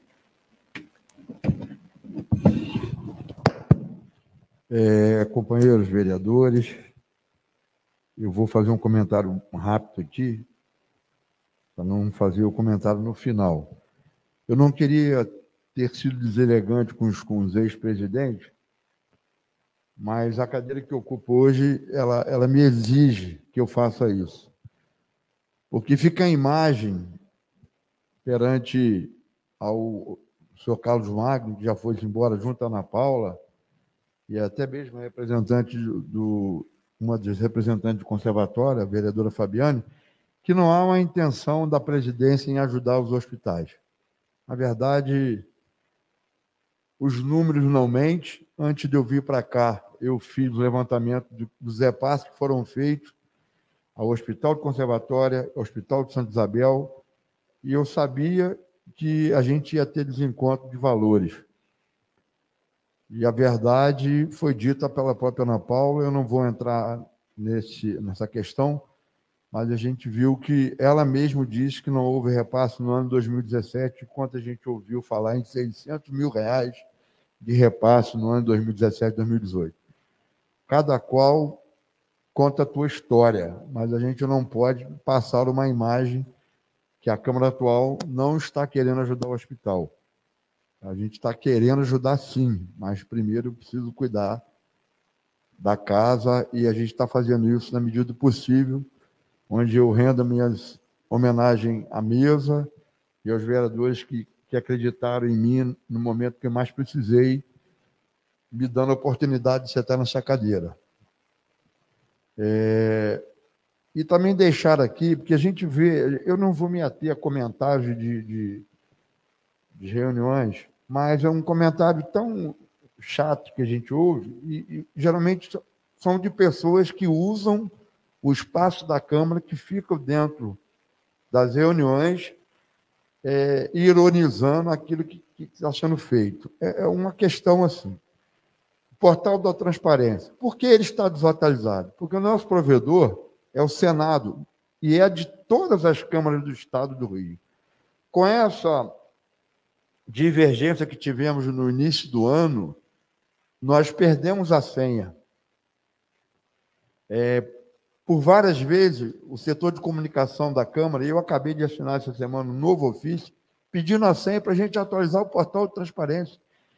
E eu vejo assessores, até mesmo funcionários da casa, não digo todos, colocando em xeque os gastos da Câmara. Não é possível que elas não tenham vindo, não tenha visto o que está sendo feito, ironizando. Isso para mim não me abala. Sinceramente, não me abala, porque eu sei do que está sendo feito e vocês sabem o que foi feito. A gente conseguiu dar uma melhorada é, na, na, na, imagem da instituição. É, a imagem de meio da diretora, na imagem de. Continuamos servindo copo num copo de plástico, continuamos a fazer o mesmo atendimento, só com mais seriedade e mais responsabilidade. A gente não mudou, a gente não inventou a roda. É... Com relação à perda que tivemos hoje, lembrada muito bem pelo vereador Rank, do posto avançado do Ministério do Trabalho, é muito preocupante. Eu vou pedir ao prefeito para a gente fazer um documento junto com, com os, os nove vereadores para a gente encaminhar isso a quem de direito, ao Ministério do Trabalho, ao, a quem de direito for, para a gente tentar manter o posto avançado do Ministério do Trabalho aqui em Valença. Primeiro, eles não tinham custo nenhum. Quem pagava o aluguel era a prefeitura. E nós tivemos uma perda já significante, que foi a perda da receita estadual, que foi para a Barra do Piraí. Daqui uns dias a gente não vai ter nada do Estado, nada do governo federal na cidade de Valença.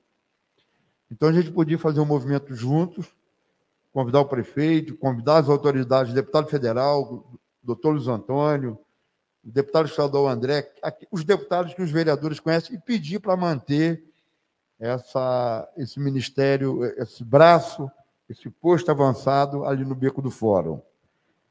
E, e não me deixam cair em esquecimento, vereador David, porque isso é muito importante, as audiências eram feitas aqui, as carteiras de trabalho eram tiradas aqui, agora a gente vai ter que ir para a Barra de Piraí.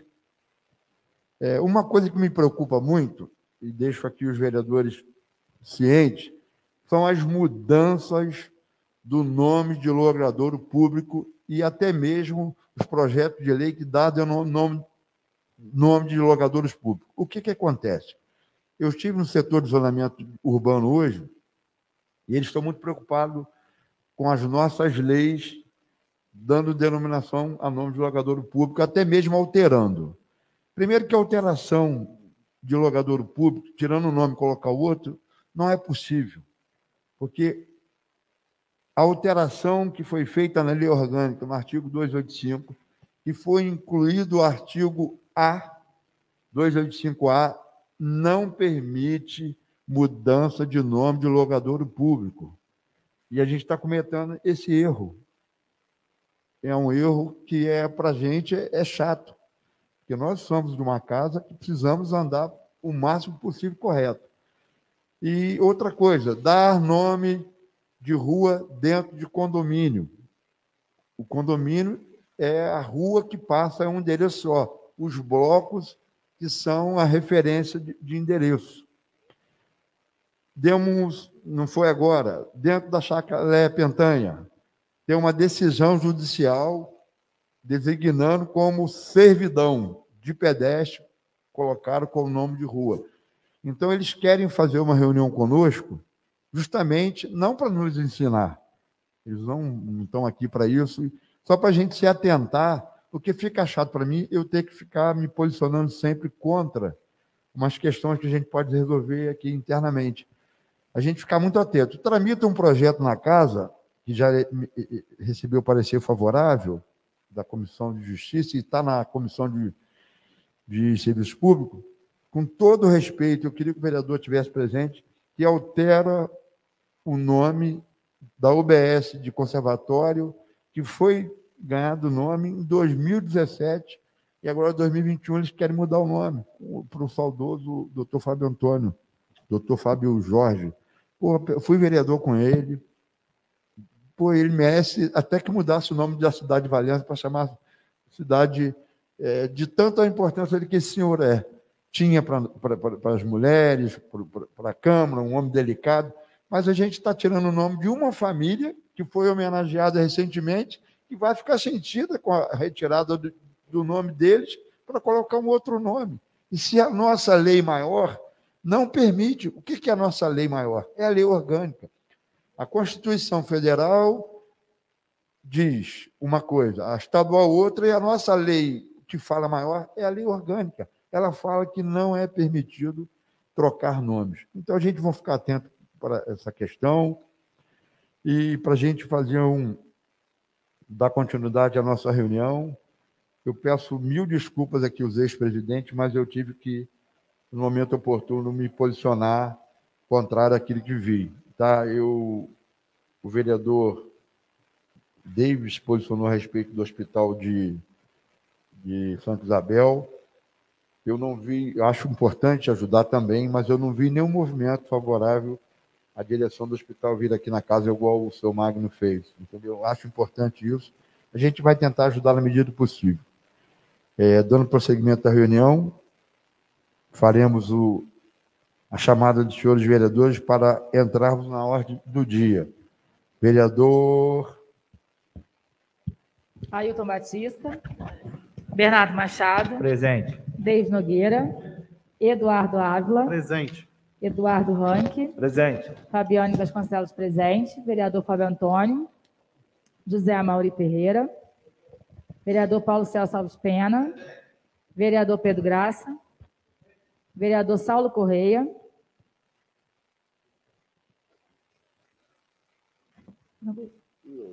Vereador José Reinaldo Alves. Presente. É, está em primeira discussão um projeto de lei ordinária do vereador Eduardo Ávila, que cria no âmbito do município de Valença o Dia Municipal de, em memória às vítimas do Covid-19 e da outras providências. Em discussão. Não havendo nenhum vereador queira discutir, fica marcada a segunda discussão e votação para o dia 17.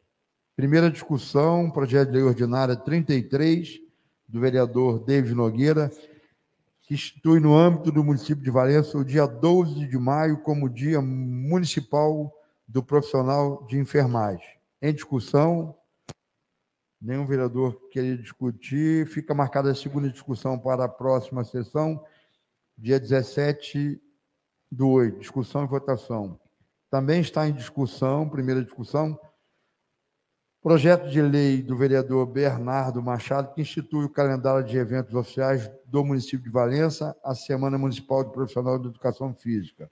Em discussão, não havendo nenhum vereador aqui discutir, fica marcada a segunda discussão e votação para o dia 17 do, do 8. Vereador Pedro. Senhor presidente, só pela ordem, só queria, senhor presidente, é, a gente fazer aqui um, um, uma lembrança que a gente falou muito aqui de devolução de recurso, de, de que a Câmara encaminhou, que para ficar bem claro que essa casa ela, ela não devolve, ela não, não passa dinheiro para entidade nenhuma. Essa casa ela tem uma, uma prerrogativa do presidente. Quando há sobra de recurso, ela pode direcionar o executivo e esse fazer uma indicação para uma situação que é de prerrogativa do prefeito. Senão as pessoas às vezes podem achar que a gente possa Aí vai um pede, outro pede, para a gente, a gente não, não tem esse recurso. Tá? Senhor presidente, se eu queria até se puder esclarecer mais um pouquinho. Perfeito, eu vou deixar o momento oportuno, a gente vai. É, chama devolução antecipada. O mais importante para nós, vereadores, é a gente apoiar, apoiar a emenda impositiva, que será o, o independente de qualquer vereador, todos eles terão um gasto determinado dentro do orçamento, e não dentro da secretaria, no orçamento. Nós vamos trabalhar para isso.